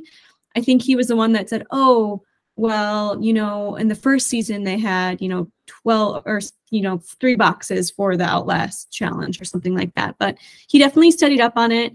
Um, he's not given me too much, but you can tell he analyzes a lot. So I agree with Stephen. We'll see how far he goes. I don't think he's going to be a huge threat on his tribe, but yeah, he's cool. Great. All right, all right. Up next is Andy. Lots of Andy things uh, to talk about in these first couple of episodes. He's certainly making a an early impression. Uh, Andy is 52 from Connecticut. He's a screenwriter. Um, he played Survival Challenge in season two. I want to say it was almost 10 years ago. Andy, correct me if I'm wrong, um, but I think it was quite a while ago. And he hadn't played a game since uh, until this past summer, where he played Can You Survive the Mountain, which I think I want to say was a week or maybe two weeks before Outlast. Like it was basically back to back, um, which he did say was pretty brutal.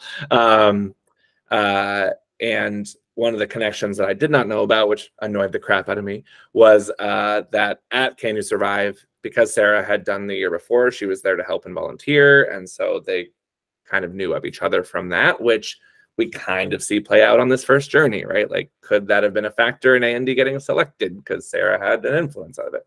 Those are the little things that annoy me, but not a lot I can do to control that.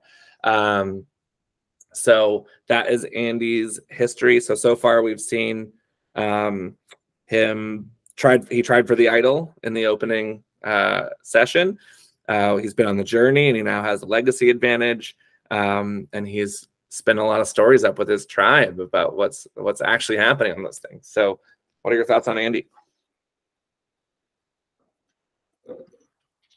Andy has a lot of potential. I'm very excited for him. I mean, he had a great lie right off the bat about the granola. I thought that was great. He was like, Yeah, I picked granola. I mean, that's something I didn't think anyone was going to pick. And so I don't think anyone really suspected that he chose the idol from there. You could tell he studied up on season one and he was like, well, Carlos picked this one, so I think I'm going to do this one. And he also was just like walking you through his thought process of why he picked um, the Outlast opportunity, the long term, and he got the legacy advantage, which was really fun. Um, I've been loving all of his confessionals, just the way he's analyzing his tribe in the game thus far. I think he's going to do really well. Um, let's just see who he surrounds himself with. I know maybe some people are a little hesitant because of his lie when he came back from the journey. I don't know. I'm curious. What do you guys think? Do you think that was a good lie? I'm like on the fence. I think it was a little weird. I don't think it was a good lie, but his other lies were good. So I'm curious what y'all think about uh, that. Stevens. Oh, this is why I voted you out. this is this is very reminiscent of the Survivor Worlds Apart, where the white collar tribe that goes they pick like A or B, and they're like, oh, we'll we'll make up a third, more neutral option. Everyone just looks and was like, yeah, you took the idol clue. it reminds me a lot of that, where you try to toe the line, but like neither answer is great, and like I. I'd be better off like if he just said like I opened a box, it was empty, I lost my votes, right, or something like that. Yeah, it's interesting because I've, uh, I've we've talked about that. Like, is it good to just be like, "Hey, I went, I opened the box, it was empty, I've lost my vote," or does that put a target on you? Because now, if you don't have a vote, it's very easy to vote for you, right? Because you don't really have a lot of ammo to fight back, you know. Or claim that you know you had to compete against Sarah and she won the opportunity or something like that. Like, like somehow Sarah Yeah. is, and then you can go and try to win an ally, but say, "Well, actually, here's what happened." Yeah, yeah. yeah. I, I think that's where I probably would lean Stephen is like, hey, we actually it was like a duel, uh, and like the winner got to go to the opportunity. I lost, so I'm back, right? Like that kind of.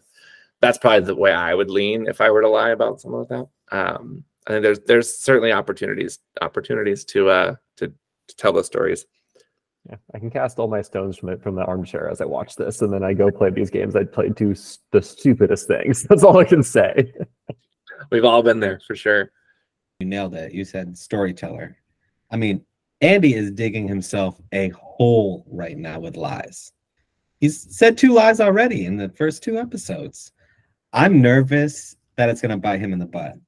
Like, and the way that I would analyze Andy from the get would be he's talking too much. He's telling me a lie. Like, if you're coming back and you're just like, boom, boom, boom, this is what happened, bam. He like sits there, he like really tells a story, which uh, that, that's what he does. Mhm. So I'm I'm curious to see if he under like switch that off a little bit during the game because I feel like if you continue to tell these long long stories about what happened, are you going to be able to understand like, oh my god, I really didn't tell them about that, and it's going to come up again? I don't know. Good luck to him. Right now, I feel like you're already two lies in, two episodes. You better make sure that your stories stay the same. Who knows? All this rain can make you delirious. All these bugs. You might be talking to a bug on your shoulder, and all of a sudden someone overhears, and the game's over for you. I guess I appreciate that Andy's been playing aggressive. I think if you look at the demographic Andy's playing in, it tends to be an, e- an early target. So I appreciate him playing aggressive, taking advantage of everything. I feel bad that of all the advantages he got, nothing nothing against the nothing against the um, the legacy advantage, but it's an advantage that incentivizes people to betray you. So it's very it's not an easy advantage to win over like, hey, I have an extra vote, we can use this together. It's like, no, I have this like legacy advantage. Oh, if you vote me out, I guess we're friends. If I don't think it's you, you might get it. It- it's it, it I wish he had gotten a different advantage out of her, picked something more short term that helped him through these opening rounds. Yeah, I was intrigued by his uh, philosophy that um, if he can't get through the first few stages of the game, then like he's done anyway. So might as well pick something long term, right? He's got to rely on his strategy and his strategic or his uh, social skills to kind of make this early part work. So that was really interesting, and I, I think for me too, you know, in those scenarios as a player, I'd probably be like, hey, I I got to get something now to get uh, there's no guarantee of those days down the road, right? So like I'd rather I'd probably lean more toward short term, even though in my brain I'm more of a long term player. I think uh, there's no guarantee of that long term possibility if you don't have can't get through the short term. So it was very interesting to kind of hear how he thought through that. Um, and I thought it was interesting he picked the the odd tribal councils, right? So 11, 9, and 7, um, which was interesting because I do think, you know, he talks about how those are the flip zones, right? The odd number of people typically are when people will flip and make changes, which I thought was interesting. The only the only caveat, I guess, is like if you pick the evens, you can have it all the way to six, versus with the odds, you only get it till seven, right? So it's one more round that you could use it in theory um, by keep by doing the evens. But you get to play it sooner at 11 with the odds. So I, I, that's why I like the odds. Yeah, yeah, I think, that, and I, you know, pat my bet my myself on the back. Like I liked that twist of it. Like I like people making those choices, right? Um, and kind of the thoughts behind those those choices. I I liked kind of throwing that twist in to see what people would do with it. Um, but yeah, I think, and I also think Andy is a producer for Survival Challenge, so he for the last ten years has been sitting on the other side of the camera. He's been the one asking the questions, analyzing the gameplay of players, right? So um, I think he's so ingrained in these games and how people play and like right he's he's both a storyteller and i think like s has so much just like knowledge right that i think um it'll be interesting to see if that helps him or if that hurts him in the long run any other thoughts on andy Okay, I just want a quick. You already went, Justin. Would you go short term or long term for this advantage, like doing that last opportunity? Can we quick just fire? I'm curious to see what people say. I'd go short term too. I would have gone long term, and I would have definitely chose flip zones. The odds. Ooh. Dang, Jazzy. Jazzy I loves a good flip. Yeah. same, same. Gosh. Um, I mean, on our season, it was only three. Yeah. Correct. Yeah. I mean, if this was my first time ever playing, I probably would have gone short. Um, I don't think I would have gone with the same like perspective of like, okay, this is Outlast. I should hit Outlast. Um, I don't know which one I would have hit, but I probably would have gone short. I would have gone short as well. Well, there it is. um, all right. Uh, I have one thing to say about Andy. oh, okay. just real quick because Yeah. Um I think most of you guys covered everything I was going to say. The last thing I was going to bring up was exactly what you said Justin that you can tell that he's seen so many survivor LRG scenarios play out that he's like so many steps ahead. Um he seemed kind of hesitant to emerge like as a leader. Like it was like, "Oh, do you guys want to do this or this we could do this." It, it kind of had Sarah energy where it's like, "Oh, these are the experienced players." So I'm excited to watch him play. I really like Andy, um, and I like what he's done so far, and I'm hoping for some chaos. Yeah. Um, and I'll also just quickly mention, I almost forgot, but I'm glad we paused. Um, we'll, we can analyze this at the end.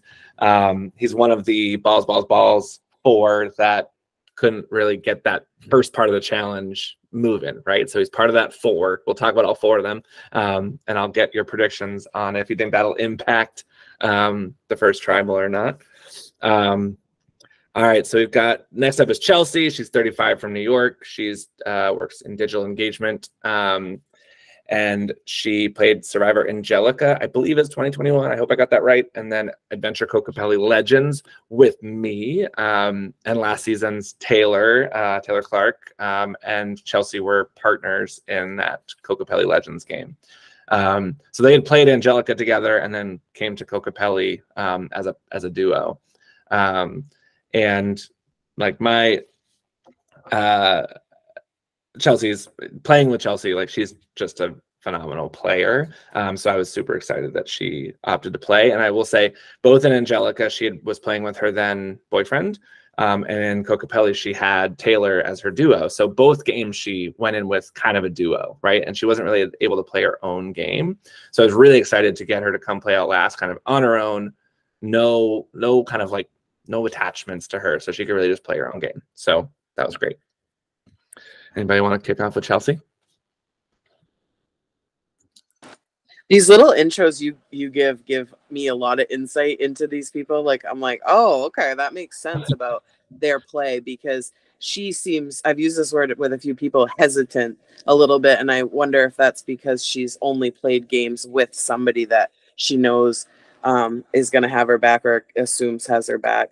Um, she seems quiet so far. It was cool to see her searching with the clue, and um, you know, she chose to share it, something I would never do, but good for her, and and hopefully she gained some trust. Yeah, it's interesting because I mean she grabs it right in front of everybody, right? So um, you know, there's four of them there. Do you try to sneakily grab it, put it in your pocket, and walk away, um, or do you watch to see who else grabs it? You try to find a quiet moment alone?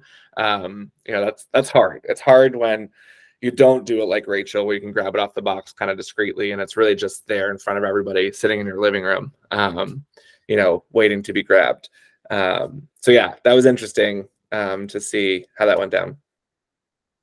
Any other thoughts on Chelsea? going off of that, Justin. So for the individuals that watched season one, why wouldn't you look at the box from the jump? Like if that was there on season, at least look. Like make sure it's like possibly there. I mean, the way that I grabbed it, I just put my like foot up there, act like I was stretching, and I just ripped it and threw it into my sock. Yeah. Either way, um, she's part Clues, of Two clues, two clues to the same idol. Did you find it? yeah, yeah, yeah, yeah, yeah, yeah. Way to rub it in. Thank you. Um, but she's part of the four that visibly throw the challenge for this tribe. Um, which I thought was very strategic. Like you look at the numbers, you're like, okay, like four can do a little more work than three, obviously. Um, but I like I felt like when she talked to um oh gosh, Matt, the Australian, was like, okay, like, should we throw this type situation? Um found the clue, shared it with the team, would never do that ever. Unless someone was visibly looking at me pulling it off. So I don't know if that was happening. If it was, kudos to her just being like, hey, found this, let's let's read it all together. Um, there was one quote that she said, I feel like it was from when everyone came back or you you came back with the rewards from um, the initial kind of the decision of where we're placing everything and she goes this is all we got i want to be like girlfriend you threw the challenge you're getting flint you have to deal with it you can't sit there and say this is all we got like to me would be like then okay sounds great let's go get some wood let's make make a fire she sat there and said this is all we got you did nothing yeah, it was interesting because I I was also intrigued by the the idea of throwing the challenge. Um, and as the host, like I realized it. I think it may be on Chelsea. Eh, it might have been Val's toss. I can't remember whose toss it was, but I was like, they're not even trying. So there must be something going on here, which is interesting because they obviously don't know what's to come. But in theory, if let's say just all ten of them make it, they get 10 selections on that board they're guaranteed to get more than what they got right so like and they obviously don't know that that's coming they don't know um right but i you know i think you're right nick in that like throwing that gives them less um less people in the mix to make those decisions so they ultimately get less right so i thought that was really interesting um and i think i don't think that was a factor at all on nebby so it's interesting that those three kind of bonded over the fact that they didn't do well in the challenge versus the other four bonded over the fact that they opted to throw it so they could have those conversations and like bond at camp right and um, do the work or whatever whatever. Um, so yeah i thought that was an interesting kind of how the two tribes broke down differently. Um, it was really funny uh, when we first set up the challenge like behind the scenes scoop but first set up the challenge i was like guys that feels a little close like is it going to be hard enough or are we going to like is everybody going to end up going on this journey and they're like, no, it should be fine. Like we tested it. I don't think everyone's gonna go. And then like the first four people on Nebby make it. I think Nebby was technically first. I think I might have showed it backwards in the episodes. And I was like, and I literally just looked at Travis and Bobby and I were like, and they're like, it's gonna be fine. And it actually worked out perfectly. So like um, they know what they're doing and I need to trust the process and trust them. Like it actually worked out perfectly, right? Like um, they were almost the same amount of people went on both, and it allowed because it was kind of easy it actually allowed people to throw it on purpose to make those decisions that they made, right? So I actually kind of liked that it worked out that way. So it all works. Uh, it all works out in the end. Um, any other thoughts on Chelsea? Uh, Jazzy mentioned her being hesitant, which you know I do agree with. But wasn't she the one that called out Trey when she was like, "Wait, but this person already said they got the tribe advantage. You can get it twice." um which i kind of liked her for that she kind of stirred the pot without putting any heat on herself um so when they go into this first tribal i don't think anyone's going to be thinking about chelsea so i think she does have the ability to kind of like hang back in the background analyze gather her people but i do like that she did that and kind of put the heat on trey right away and i liked how she interacted with was it amelia during the carrot in a box mm, yeah yeah yeah, I don't know. That was fun. You get to see a little sassy side of her and analytical side of her as well. So, yeah, yeah. she'll be a fun player to watch.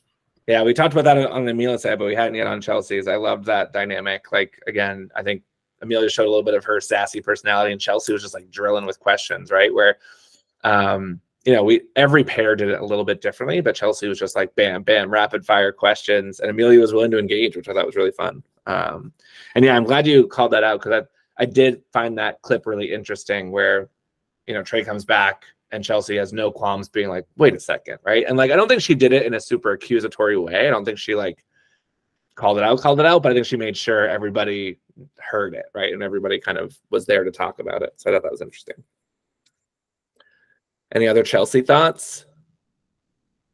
All right, all right. See how Chelsea does. Up next, we have Kira that's how you say it. It's Kira, even though it's, uh, I, I was nervous every time I went to say it. Um, Kira from 26 from North Carolina, currently unemployed, but I think she has now moved and found a job since uh, the game, which is exciting. And she did play Survive season two, which was, I think their theme was called Roundup. Um, when I looked it up. Um, and so she's got a little bit of experience, and uh, that is kind of all the context I think I have to give. Thoughts on Kira? Who wants to go first? My quote I wrote was, She got the sauce. Okay. I really love her.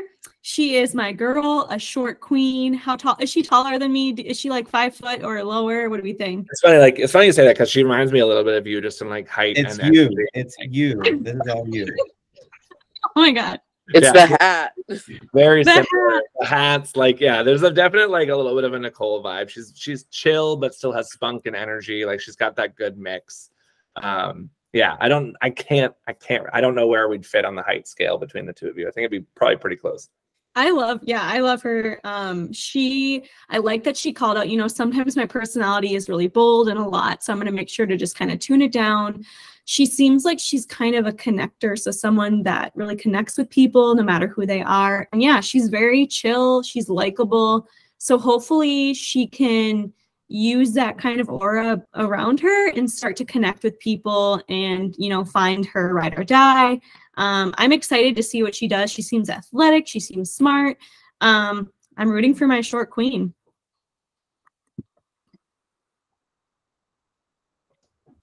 Nicole, I thought this was season two of you from the jump. I was like, yes. First of all, I died when she gave her herself a like fake high five because no Oh my one's high fiving her. Like that to me was like, love this girl.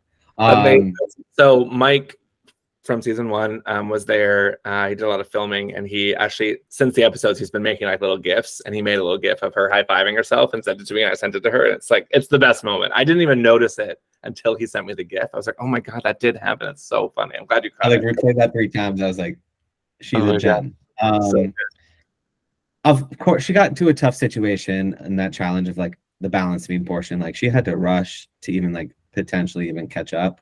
Uh, that's unfortunate. Um, I do want to call out. Didn't she flip the coin to the wrong color? She did. Yeah, both her and Matt like- uh, ended up doing that. like, Yeah.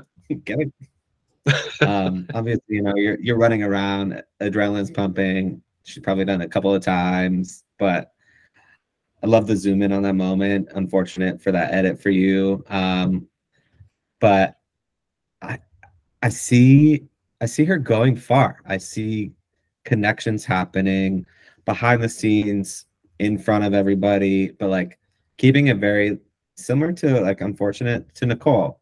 Hopefully things work out better for her um, than Nicole, but um, we'll see. Who's to blame for that though? I hate Nick. Um yeah it was really funny to zoom in on the moments where you know you're in this and and hey shout out like i did for for hannah and for rachel um kira stepping up and say i'll do the brain challenge. I think you even hear her in the background like i'm more of a sorry i'll do the brawn challenge. I'm more of a brawn than a brain right? Um which is great. Like i love people that that you know step up to something like this. Um and but yeah it was funny to kind of zoom in on that moment where got the wrong color up. Um but you know you're moving fast. It's a um, it's interesting. I thought it'd be so interesting to think of.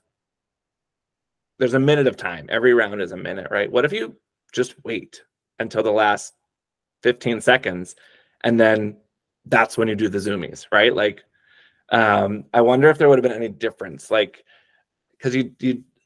I think they could have eventually figured out all we need is seven. If we get seven every round, we're going to win the round based on how many are out there. So let's just make sure we let's not expend our energy and use the last 20 seconds, 30 seconds to make sure we have seven, and that's all we need, right? Um, that never happened. But I was as I was watching the footage back, I was like, you don't really have to run for a full minute. like you don't really have to. And they kind of that's just what kind of the challenge made that happen, but like you don't really have to. So it's it's funny um to think about that. And they were, I mean, they were so tired. And so funny that they're like dying at the end of that challenge, and then the other challenge is like, go stand and ask what's in a box. oh, oh God, I love You're it. so devious. Oh God, it was so funny. Um, and again, it was like everything that mo I wouldn't say everything, but most things we try to do in this game are meant to set up certain scenarios. And we wanted to create a dynamic, right, where there's people bonding over an extremely exhausting challenge. There's people bonding over that kind of interesting inter-tribe kind of connections. Um, and would there be any kind of hostility or or bad feelings between a group that's exhausted and just killed themselves with a challenge and then lost, you know, or won, uh, and then a, tribe that went to a challenge that was somewhat not a, you know not exerting at all um and won or lost right? Like so could those dynamics come into play? Um yeah we like to set those up those types of scenarios. Um but uh any other thoughts on kira stephen jazzy How was it? I No. think she's pretty badass. I think she's adaptable. Um, male, female. I think she can fit in with a lot of people. Um, and I think that Jeff did so awesome in Balls, Balls, Balls that you didn't notice. Um, how do you pronounce her name? kira it's kira, Kira. You didn't notice like how awesome she did. She killed that challenge too. She just didn't have a lot of opportunity to do it, but her balance on those boxes, the editing was great. Um, so I think I'm rooting for her too. I like her a lot. awesome all right up next we got jacob jacob is 26 from Indiana. He is a teacher, or was a teacher at the time of the game. I think he's also changed jobs since then. Um, and this is his first LRG. And one of the things I love is that in his cast photo he sent and his audition video, he wore the same outfit that he wore to the game, which I just thought was so adorable. Um, and he said he planned it that way. So that was funny. Um, so uh, thoughts on Jacob? I feel like we've heard a lot of strategy from Jacob.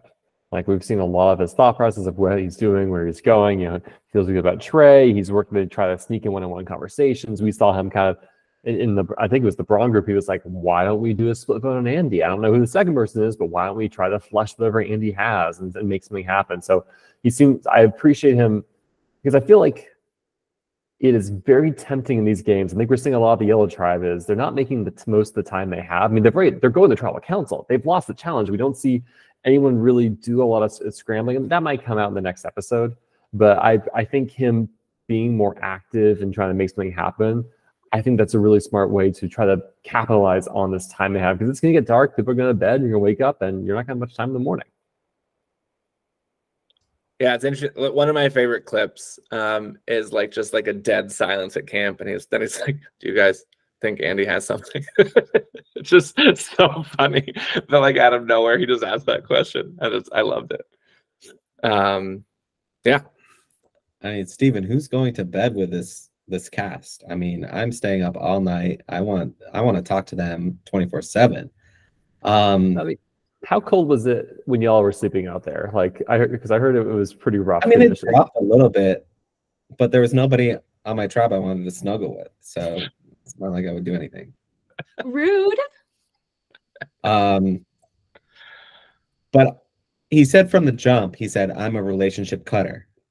So, like, he knows what he's getting himself into. Um, and I think it's still like definitely strategic and everything. And I think he's like, like you said, he's like, I'm just like drop a few quotes here and there while the tribe is all together. Um, I did like when he was like, "Hey, like when you talked to Trey, um, that was a good decision." But then uh, he said, "Yeah, I told him I would have his back, but like in the end, like I'll vote him out." So like he he definitely thinks there's strategery involved with Jacob, and not just that smile.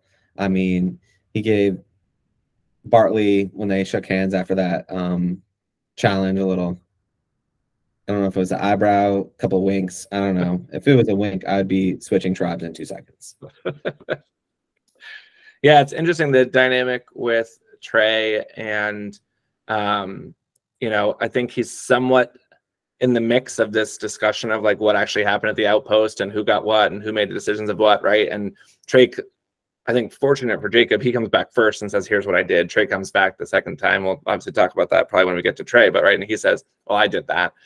So he's somewhat in the mix of that conversation, but being the first one, at least he's got like that leg up a little bit in that chat. I think. Um, yeah, so it'll be interesting to see how that that plays out. Um, any other thoughts on Jacob? Jazzy, I don't remember who said what so far. Did we mention him uh, searching for an idol in the challenge booth? I'm like giving German vibes right here.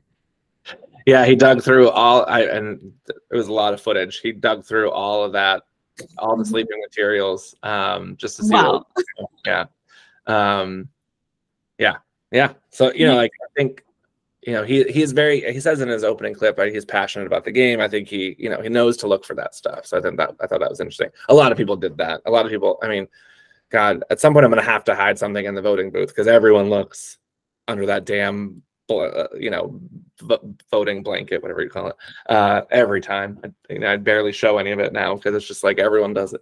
Um, but yeah, um, yeah. Jazzy Stephen, anybody uh, have anything else? No, good. All right. That is Jacob. Up next, we've got Matt. Matt is from Australia, our international, we're now global, global game. Um, he is 38 from Melbourne. Uh, he is a Godna. Um, and he played Backyard Survivor Redemption Season 4. I think he maybe played some other games too. I tried to look back at his application. I think they might have been online. I couldn't tell if it was online or live games, but he's played a couple games in Australia. Um, this was his first game in the States. I think this might have been his first time to the States. So we were super honored to have him come all the way here. Not just for us. He was here for like two or three weeks, I think, um, traveling around. So, um, but um, I saw Mac. I became a big fan of Backyard Survivor. If you haven't seen it, shout out. They do a great job. Um, definitely watch. Um, and I watched season four. Um, and I just thought he was super fun. Um, and there's, I mean, half of that cast, I would love to have them come play. So you're all more than welcome to apply and get over here if you can. Um, and I reached out to Matt. I said, hey, you know, if you're ever interested in our game, we'd love to have you apply. And he did it. And um, we obviously jumped at the chance to cast him. So um, that was really exciting. Um, yeah, those are all the things I have to say to start. Anybody? I loved him in Backyard Survivor. I'm pretty sure I'm going to love him here in Outlast as well. I am very high on that. I'm very excited to see him play. I we already talked about how it was unfortunate because uh, he was one of the players that had to throw that reward challenge when they really needed to not throw that. But you don't know that at the time, and so I appreciate kind of the thought and the decision making there. And I really, really, really want to go far. Yeah, actually, I'm curious. Um, Nicole did this before. I'm going to do it now really fast. So all you know is if you do well in this challenge, you're going to make a decision. That's all you know. Would it ever, would any of you say, like, I don't want to make a decision this early? Is there anybody here that would be like, I'd throw it. I wouldn't want to make a decision that early in the game? I know Jazzy's a no. I don't even have to ask. I'm Uh, same with Jazzy. there's- That is a full on, absolutely not. Like I want, I want to know something. Like okay. obviously, Is there he's played here would want to make a decision? Yeah. Yeah. Hundred percent. I'm a competitor number one, but number two, information is so key in games. Like I would totally want to be in on that decision. Yeah, I would be encouraging other people to throw it though, for sure. Yeah, love it. Um, so yeah, we obviously we saw. So Matt is also a part of the balls, balls, balls four that uh, struggle a little bit uh, and early in that challenge. But any any thoughts on Matt?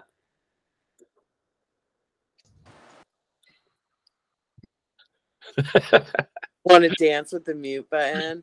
Um I like him instantly. He gives off a good first impression. And of course, like the whole Lizzie nod on his shirt is just Oh, like God. so cute. And your story is so cute.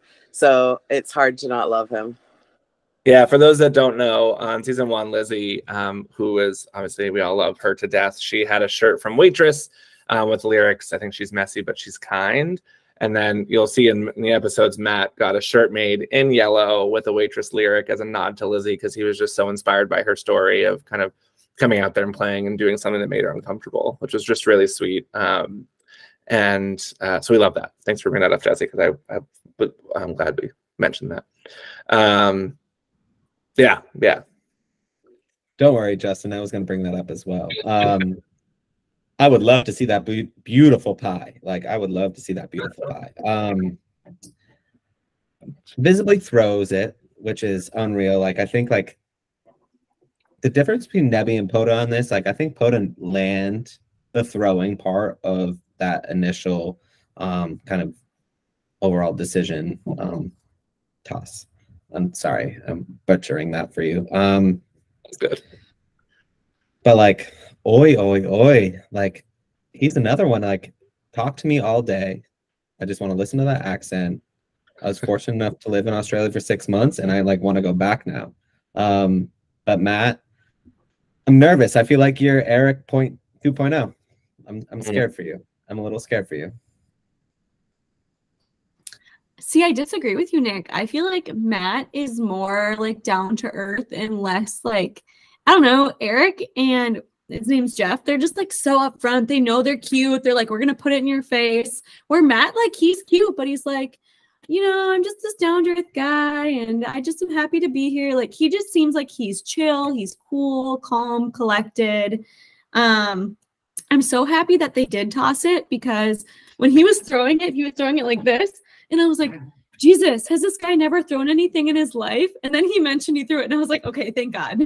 like you had a reason for doing that. Um, I don't know if I agree with the throwing, but at least it kind of gave them a a moment with those four to talk with each other and kind of gain some trust. Um, yeah, Matt just seems very sweet, down to earth, smart, athletic, but doesn't seem like he's going to come up as a threat right away. So that's going to be really exciting to watch.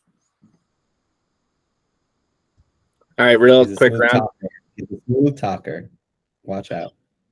Another quick roundtable question: Would someone traveling from Australia influence your desire or not to vote them out? Would you be like, Yes. I'll put him out first, or I'd want to keep him in the game because he traveled so far? Would it influence your ability to vote him out or not? Yes, Stephen, you're saying it would. It would influence it. Yeah. Yeah. Nicole, yeah. Jazzy's no. I mean, is he pay- is he paying for my plane ticket back to Australia? I'll keep him on. But I mean, if it comes down to it, Nick, would you feel at all- any at any guilt for voting out someone that traveled from Australia? Would that influence your? There's no guilt. I voted out Nicole. All right, all right. We're two and two on that. We're split. Um, all right, all right. Uh, yeah, I wouldn't feel any guilt. I mean, I I know every other people would be feeling guilt, so I feel like I'd feel pressured into pretending I was guilty, and so it would depend on how my alliance was, honestly. But I honestly would vote someone out for that. I don't care. Yeah. Yeah, I mean, there's a factor where like they know what they're signing up for, they know what they're coming here for, um, and that was one thing I think I, I think I said it to Matt earlier. I was like, hey, like we'd obviously love to have you, but you know, if you get over here and you're the first one out, like I don't want you to feel like you made a mistake, right? So just you know, I'm not going to obviously do anything to try to keep you in the game. So just make sure you know that that risk. And he was, you know, he was very willing to do it no matter what happened. So, um, yeah, I don't know how I would handle that as a as a player. Um, yeah, it'd be interesting to experience that. Um, because I thought like if I ever play again, like maybe I'd go to Australia and play there because no one would know who I am. Um, but like, would they vote out the American? Would they vote him, vote him out early? Maybe they would. Um, but then they're like we've, we've all said right like there's a charm about matt and so that is a threat right? So like you know even just the accent alone kind of becomes a factor of his threat level because he is charming and you know um the accent adds adds to that. Um any other thoughts on matt awesome we'll keep going we're almost done you guys are all so amazing for being here so long um, all right, up next we have Maya. She's 22. I believe she's our youngest player in the game from Massachusetts. Uh, she works in political campaigns and she did play Survivor Northeastern. So she's got a little bit of experience. That's a college game that's very well known here in the Boston area. Um, uh, and I believe they play like they, it's a semester long. Like you play all semester long. Um, I don't really know the dynamics of it and like how challenges and vote outs or anything work, but it's like a very long, long game. Um, thoughts on Maya? Silent attacker. She I feel from the jump is gonna like kind of I wouldn't say flatline, but just be very stagnant, and all of a sudden it's just gonna come see like episode whatever it is is just gonna be like the Maya show, and she's just gonna take it over. But right now, I don't have any notes on my page for her, so Oh. she's gonna have some work to do. I think she said she memorized Instant Insanity, that puzzle, which is actually a a little bit more of a challenging puzzle to memorize than you expect because like it kind of like you go to the Wikipedia page, it just dives in the graph theory and my eyes just glaze over. And so I was impressed to hear that she put the time into learning that puzzle uh, for this game. Yeah. I, all I know is like the first. So it's the it's it's the jazzy puzzle if we're being honest, right? So uh, from season one, the four blocks, um, four block puzzle is is instant insanity. Um, and all I know is like the first two blocks. And I think that's what Jazzy you were trying to explain to your tribe, right? Is like there is a way to kind of configure the first two blocks. I don't know if there's really a way to memorize the next two blocks, but once you get the first two, it's then a lot of trial and error on the other two box boxes. Um, but yeah, her her obviously seeing that in the first season, memorizing it, expecting it to come back in this season, I think is a sign that she's you know she's doing the the prep um, to to play well. I you know we were instantly impressed by her her audition uh, video, her application video. Um, and I think you hit on the head, Nick. Like she's got like a silent but deadly type quality to her that um, that was very evident from the from the get go. And her interrogation on the carrot box, I loved. She was one of my favorite interrogations. Uh, she's winner energy to me. Immediate when I saw her, I was like, "Oh, I like her." She's she seems she seems like she can have a controlled kind of way about her and keep things controlled. Unlike me, like she doesn't seem that chaotic. She seems like she will be controlled, and I like that. Yeah, she seems very calculated. I also don't have a lot of notes about her, but I did say you don't want to get on her bad side. I feel like she works in politics, so she can persuade people easy or easier than I probably would be able to. We saw how she interrogated who did who was her carrot in the box person? Bag. Yeah. Oh yeah. And she was just like so stuck on it. So yeah, I also agree. She's probably silent but deadly, but she wants to kind of be in the background, not want to ruffle feathers. I don't know. I'm excited to see what Maya does. As of, as of now, I don't. Yeah, I just don't know what to expect from her. I feel like she is the Olivia Pope of Outlast right now. If you've ever seen Scandal, I love that. She All is right. super regal. She's just like uh, powerful. Yeah, love it. I will say her parents came to the premiere party and they were so adorable and they like competed in a challenge and it was the cutest. Um, all right. Any other thoughts on Maya?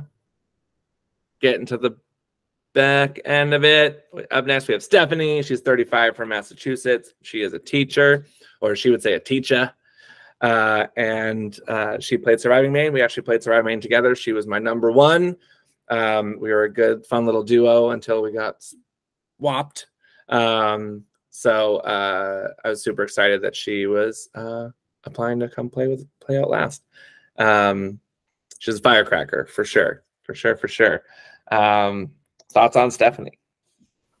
Does she have the best shirt of the cast? Because she's the Taylor, she's the Taylor Swift shirt, right? I think that's the, Taylor I think that's the shirt, yeah. Yeah, and it's yellow, so she did her she did her she did her job. Um, yeah, yeah, yeah, and it obviously inspires the the moment with Peter and the carrot in the box, the T Swift moment. Um, yeah. Thoughts? She's spunky. She's smart. Like I love watching her. I loved watching her in Surviving Maine, um, season three. So when I heard she was cast for Outlast, I was super excited because she's she's really smart and really likable. Um, I'm excited to see if she can keep her excitement under wraps a little bit and not be like deemed a threat um because she's so adaptable so we'll see i love her taylor swift shirt as well Stephanie, how much hairspray did you need for this photo? Um, that shit is standing up straight. Anyways, she's coming in hot. She is giving energy. Um, she even calls out and understands what happened in season one. Like she knows women were kicked off one by one by one from the jump. I mean, I was not involved in that. So, anyways, um, but she also says like she sits back at camp after everyone comes back and like she's the first one to be like, didn't they just say that they put down for the same thing? She's like, I wanted to keep quiet, didn't want to say anything. I would have went off and would have said, You're a liar, you're a liar, and you're probably a liar too. But kudos for her. I mean, she she's kind of keeping like Jazzy said, it looks like she's kind of keeping that energy a, a little under wraps. Um, hopefully she keeps it even further as the game goes on, because obviously as the game goes on, it gets a little tougher. Yeah, I'm super proud of that and kind of referring to what you said, Nick, is, is one of her biggest challenges in surviving Maine was she was very vocal. She was very out there. She she was deemed a threat very early just because of her energy, her vibes, her kind of leadership qualities. And so I appreciated and I was excited to see that she was trying to tone it back. She was being self-aware and trying to reel it in a bit. I love the confessional where she's like, I'm just boiling and I want to say something, but I'm not, right? Like that. Uh, you know, I was really proud of her that she kind of took that step in her game to be like, I know I've got to reel that in if I have any chance of mitigating that, right? Um, so yeah, it's fun to see, you know, we're gonna, you know, we're gonna see how that does for her. And it's fun to kind of see the confessionals where we get to see some of that stuff that she's not gonna do kind of to in front of her tribe. So I thought, I thought that was really a fun moment everyone here would be lying if they said they weren't excited to see more Stephanie confessionals. She's about to give us so much confessional gold. I love it. I love her. Um, yeah, what you said was so much fun. She, you could see it her. She's like, oh my God, I'm so angry, but I can't do anything about it. So I really hope she kind of sticks to that and sticks to holding her tongue and just giving us everything in those confessionals.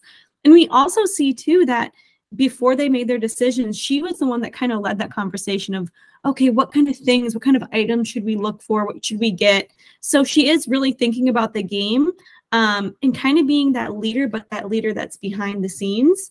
Um, yeah, I, I, really like, like, what if there's an advantage, right? Like she does, she brings it up to that whole group, right? So kind of again tosses it out there. Um, so I thought, yeah, I thought that was interesting. Sorry, Nicole. I no, you're good. You're good. That's totally agree with that. Yeah, I think she's gonna go far. I have high hopes for Stephanie. All right. Any other thoughts on Stephanie? No. Good. Good. Good. Two more to go. Next up, we have Tremern. People call him Trey. Um, so Trey Tremern. He's 28 from Connecticut. He's a doctor. Um, and he played Survivor Royzan uh, in 2021. That's actually how I um, know of him. Um, and that in that game, he was super scrappy and like finding idols and doing all these crazy things. Um, so uh, he definitely has, has, a scrappy quality to him. Um, and we've talked a couple about a couple things. He's, you know, he's had some interesting opening moments with the the box situation and what he's kind of said to his tribe. Um, and he was also a part of that balls balls balls group of four that struggled in the beginning of the challenge. So, um, thoughts on Trey? All right, I'm just gonna I'm gonna kick this off. Come on, Trey. What are you doing? Like, pick something else on that effing table besides being like, oh, another advantage. Like, there's multiple other things that you could have said. You're coming back to tribal and you're gonna say another advantage. You are I would have been like, he's gone. He's gotta go. He's gotta go now. That was probably the worst mistake I've ever seen so early in a game. Hmm. But who knows? Maybe he can like stick with Jacob in his alliance and Jacob can kind of save him in this moment. Cause I don't like I don't think that that's that's not a savable moment. You you you gotta pick something else. Wasn't he the last one? Uh I think so. Yeah. Yeah. Oh, say rope. No one picked rope. Like no one picked like say something random. Say rope. I love that. I, I mean, unlike Andy, I, his advantage isn't threatening, right? Because he has to he has to give up a vote twice to get towards your votes, and so I think if pushed, he could share that and try to use it. Say, hey, you know, like if you work with me, I can make my vote here, and I we can I can help you later on. I think he has outs to work with this that he's not doomed because he told a really bad lie. It may still doom him, right? And we may, see a, a split on him and Andy, but I don't know.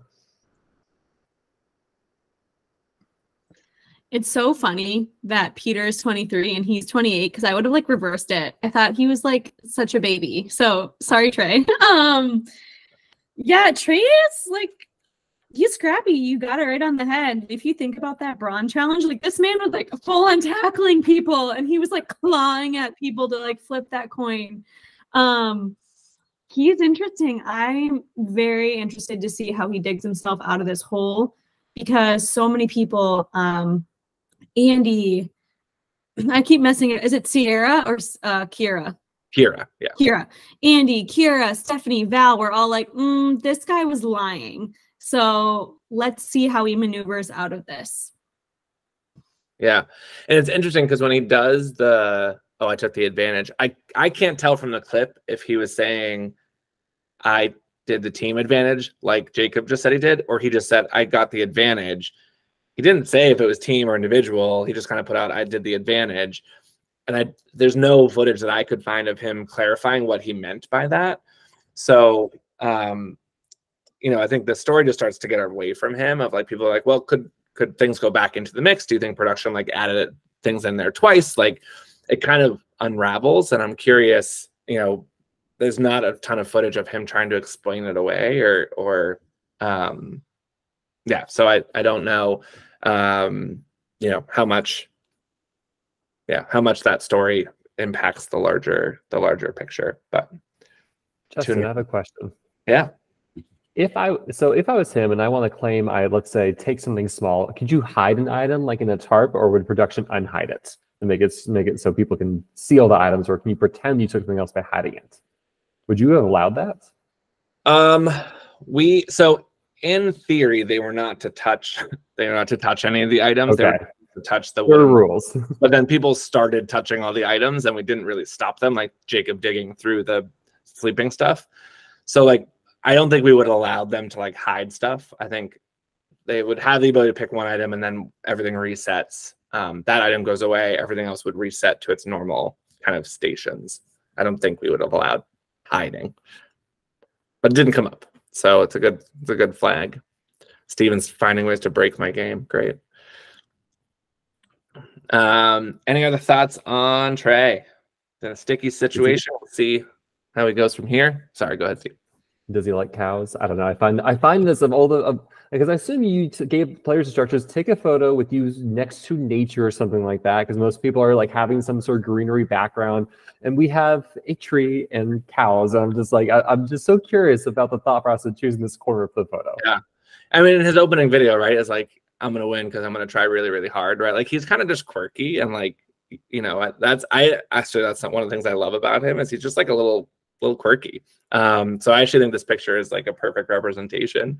Um, you know, I I like that. Um, it's so funny for like I'm wondering if like if I walked in and he was my doctor, like what I would, you know, like he's such like a he does he has like a boyish face, like a, um, you know, I don't know what he's a doctor of specifically. So um, I mean, as a doctor, uh, don't you know, never put your feet out for free. Like he's literally showing his feet for free. That's fair. Um, but yeah, um, yeah, and I, I, was glad to have a doctor on the on the cast though, just in case we did have some injuries. Um, more to come on that. Um, so who knows what will happen? Uh, but uh, yeah, so it's good. We've obviously has have Angela as our our medical staff on site, but uh, having another doctor around was not it's not great. Uh, was great, I should say. Um, all right. And last but not least, we've got Valerie, or people just call her Val. She is 43 from Massachusetts. She's a design consultant, and this is her first LRG. She's played a bunch of ORGs, um, but this is her first LRG. Um, and she was also a part of the Balls, Balls, Balls group of four uh, that struggled in the opening challenge. And she she's the other one that's kind of talked pretty actively about the idol clue that Chelsea found. Um, kind of amongst that group. Thoughts on Val? I think Val is playing this game right now very well. Um, I think she is a threat from the jump. I think she know like truly knows and understands the game. Um, visibly throws obviously that first reward um, challenge and very detail oriented. I do want to call out to her video. So she has like the video of, I think it's the um, it's a dog behind her, but where her head is positioned, it cuts off half of the dog, and it definitely looks phallic So we're just gonna talk about Val. Like maybe we just need to connect with her on just like position of cameras in the future. But I think I think Val has a future um, for sure in LRGs.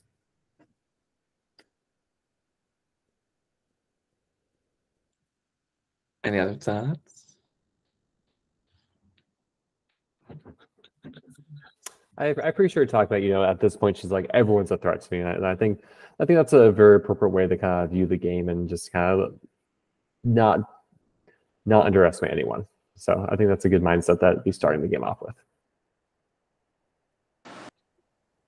And Team Val, I love Val. I think you know it's like um, rooting for the home team or something with Val. And I think she's like the queen of resting bitch face, and I wonder if people are gonna find her intimidating because of that.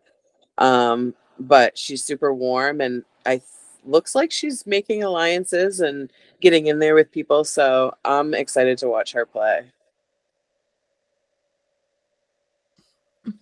I'm very excited for Val as well. um, yeah, she's very likable. She's smart. She's really good at connecting with people, especially one on one. maybe not really in group settings. I mean, she's fun in group settings too, but especially when you get with her one on one, you're like, oh my gosh, I love this person. So I think she'll be developing a lot of deep connections with people. Um, yeah, she she's also a dark horse in this game. Don't underestimate Val. Yeah, I think both her and Maya had I think similar kind of intro videos where they're both like silent threats, like people aren't going to see us coming. Um, so it was interesting that they just happened to end up on the same tribe because I thought they had kind of similar mindsets going in of like people aren't going to know that I'm a threat until it's kind of too late, right? So, um, yeah, yeah. Um, all right, so now we can we can we can uh, ask the question. Balls, balls, balls. You got those four people on that starting. Who who's to blame? Who do you who do you pin the blame on? Can you pin the blame on that one? was so bad, so hard to watch. Oh my god. I mean, it took me so long. Like I'm thinking when Jazzy was like, I was throwing anything and everything at my TV. I was like, switch it up. Someone's got to move. Someone's like, and then all of a sudden Andy said it, but I want to be like, Andy, you're the one walking back. You should be the one walking forward. Like, if you think that you are able to do that, like you should have been that way. Like I got so angry. Yeah. So angry. Well, I guess another the other maybe the better question is do, editing. Do you, do you think that that performance, one of those four, because they are to blame in theory, right? Do you think one of those four are most at risk as they head to tribal council? Or do you think because there's so much time between that challenge, there's four other challenges, there's a bunch of other things that happen, like there's 24 hours of time. Um, there's a lot of relationship building. Do you think that first challenge and that performance will have an impact on the vote? those names stick. Those names will stick. And as challenges go on, maybe some names drop off, but those four definitely have to be the top four. Anybody else have a different theory? I think because we've had two reward challenges, we've, we've, we've, we've had at least one outpost. Who knows what else will happen before we get to that first vote. I think there's enough shuffling going around that people maybe more concerned about who has what, who's lying versus just sheer challenge strength. And I think the I think the unfortunate is Andy is going to be the crosshairs given he kind of lines up like, well, he was part of the, this, this group for the first challenge, and he went to the um, outposts, and we're not quite sure he's telling us the truth to begin with. And so I think I think it's gonna be a really if he can get through the next round or two, I'll be very impressed. Yeah, totally agree with Stephen. I mean, there's so much that's going on right now, and they have a whole night to think about it. Um, I think it's going to be very, very messy this first tribal. Everyone's name's going to be thrown out there. I don't think Andy's safe. I don't think Trey is safe. I don't think those four in the challenge are safe. But I wouldn't just say, oh, those four were to blame. They're going to be the names on the chopping block. I think a lot of people are going to have names thrown out there. All right. So this is our Nebby tribe. We'll do another round table of around of the table of like who's your favorite to watch right now. Not favorite to watch, but who's who who's like the one you're you're maybe rooting for. We won't talk about winner picks just yet, but who's like the one that stands out for you? We'll go backwards this time. We'll do Nicole first. Come on, Stephanie. Like once again, confessional gold. Love me some Stephanie. Jazzy. I gotta go with Andy. Okay. All right. Nick. Jazzy, Andy in this photo makes me giggle. Look at I him know. That's why I'm picking Um, it. No, I gotta go with my Nicole 2.0. I think Kiara has an opportunity to really drive this forward. Like I feel like she can dominate, but also give like her personality to a lot of people. All right. Stephen. I'm watching for Trey. I think he has a lot of decisions he's going to be making in the near future, and I'm very curious of what he's going to do. All right. Good stuff. Okay. So we're now going to do winner picks. We didn't do who we didn't want. Didn't we do that on the last people? Did we? Who didn't want? What do you mean? Didn't we do like You who had we us say targeted? first boot last time, but I'm okay not doing that. Oh, okay. First boot, not for Nebby though. No. No, no.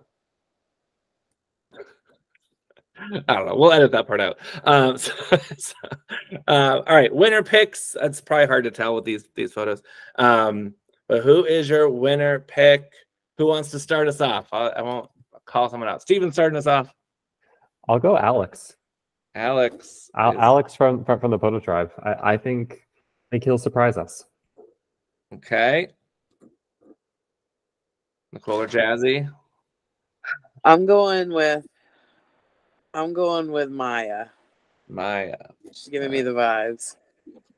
All right. Nicole. Reigning champion Nick wants to be last, so we'll we'll let it be last. I'm so stressed because I have like three people that are going to do great.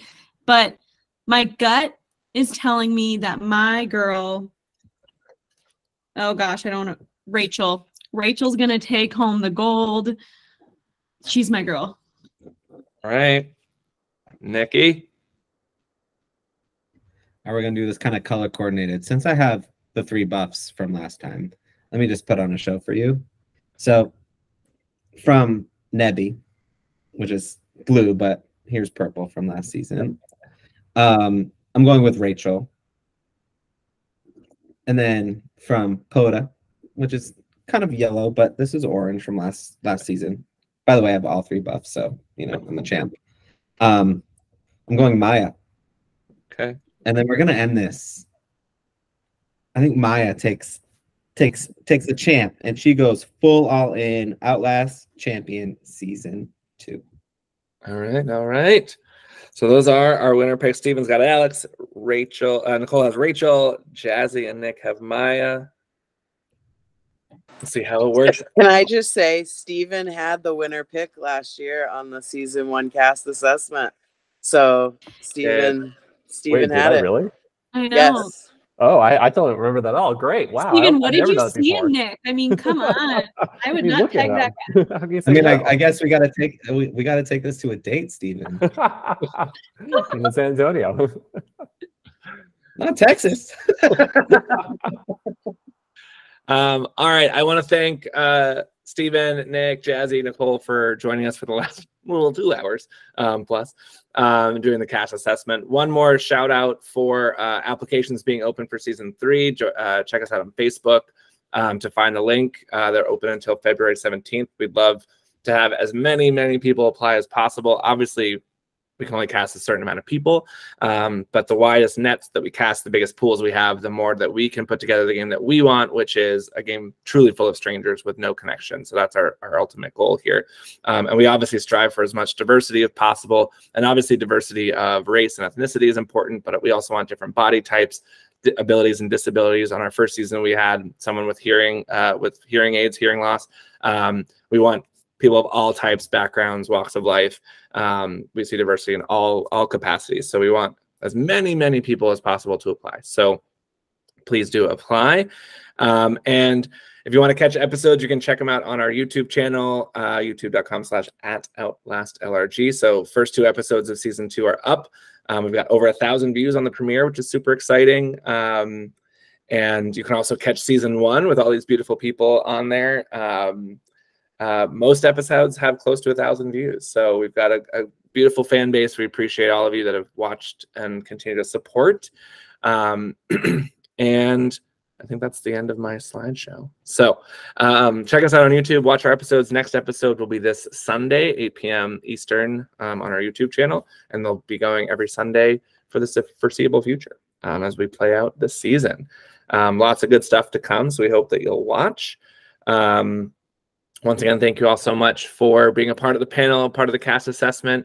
Um, and we will see you for a mid-game cast assessment uh, in a few weeks, whenever that middle of the game is.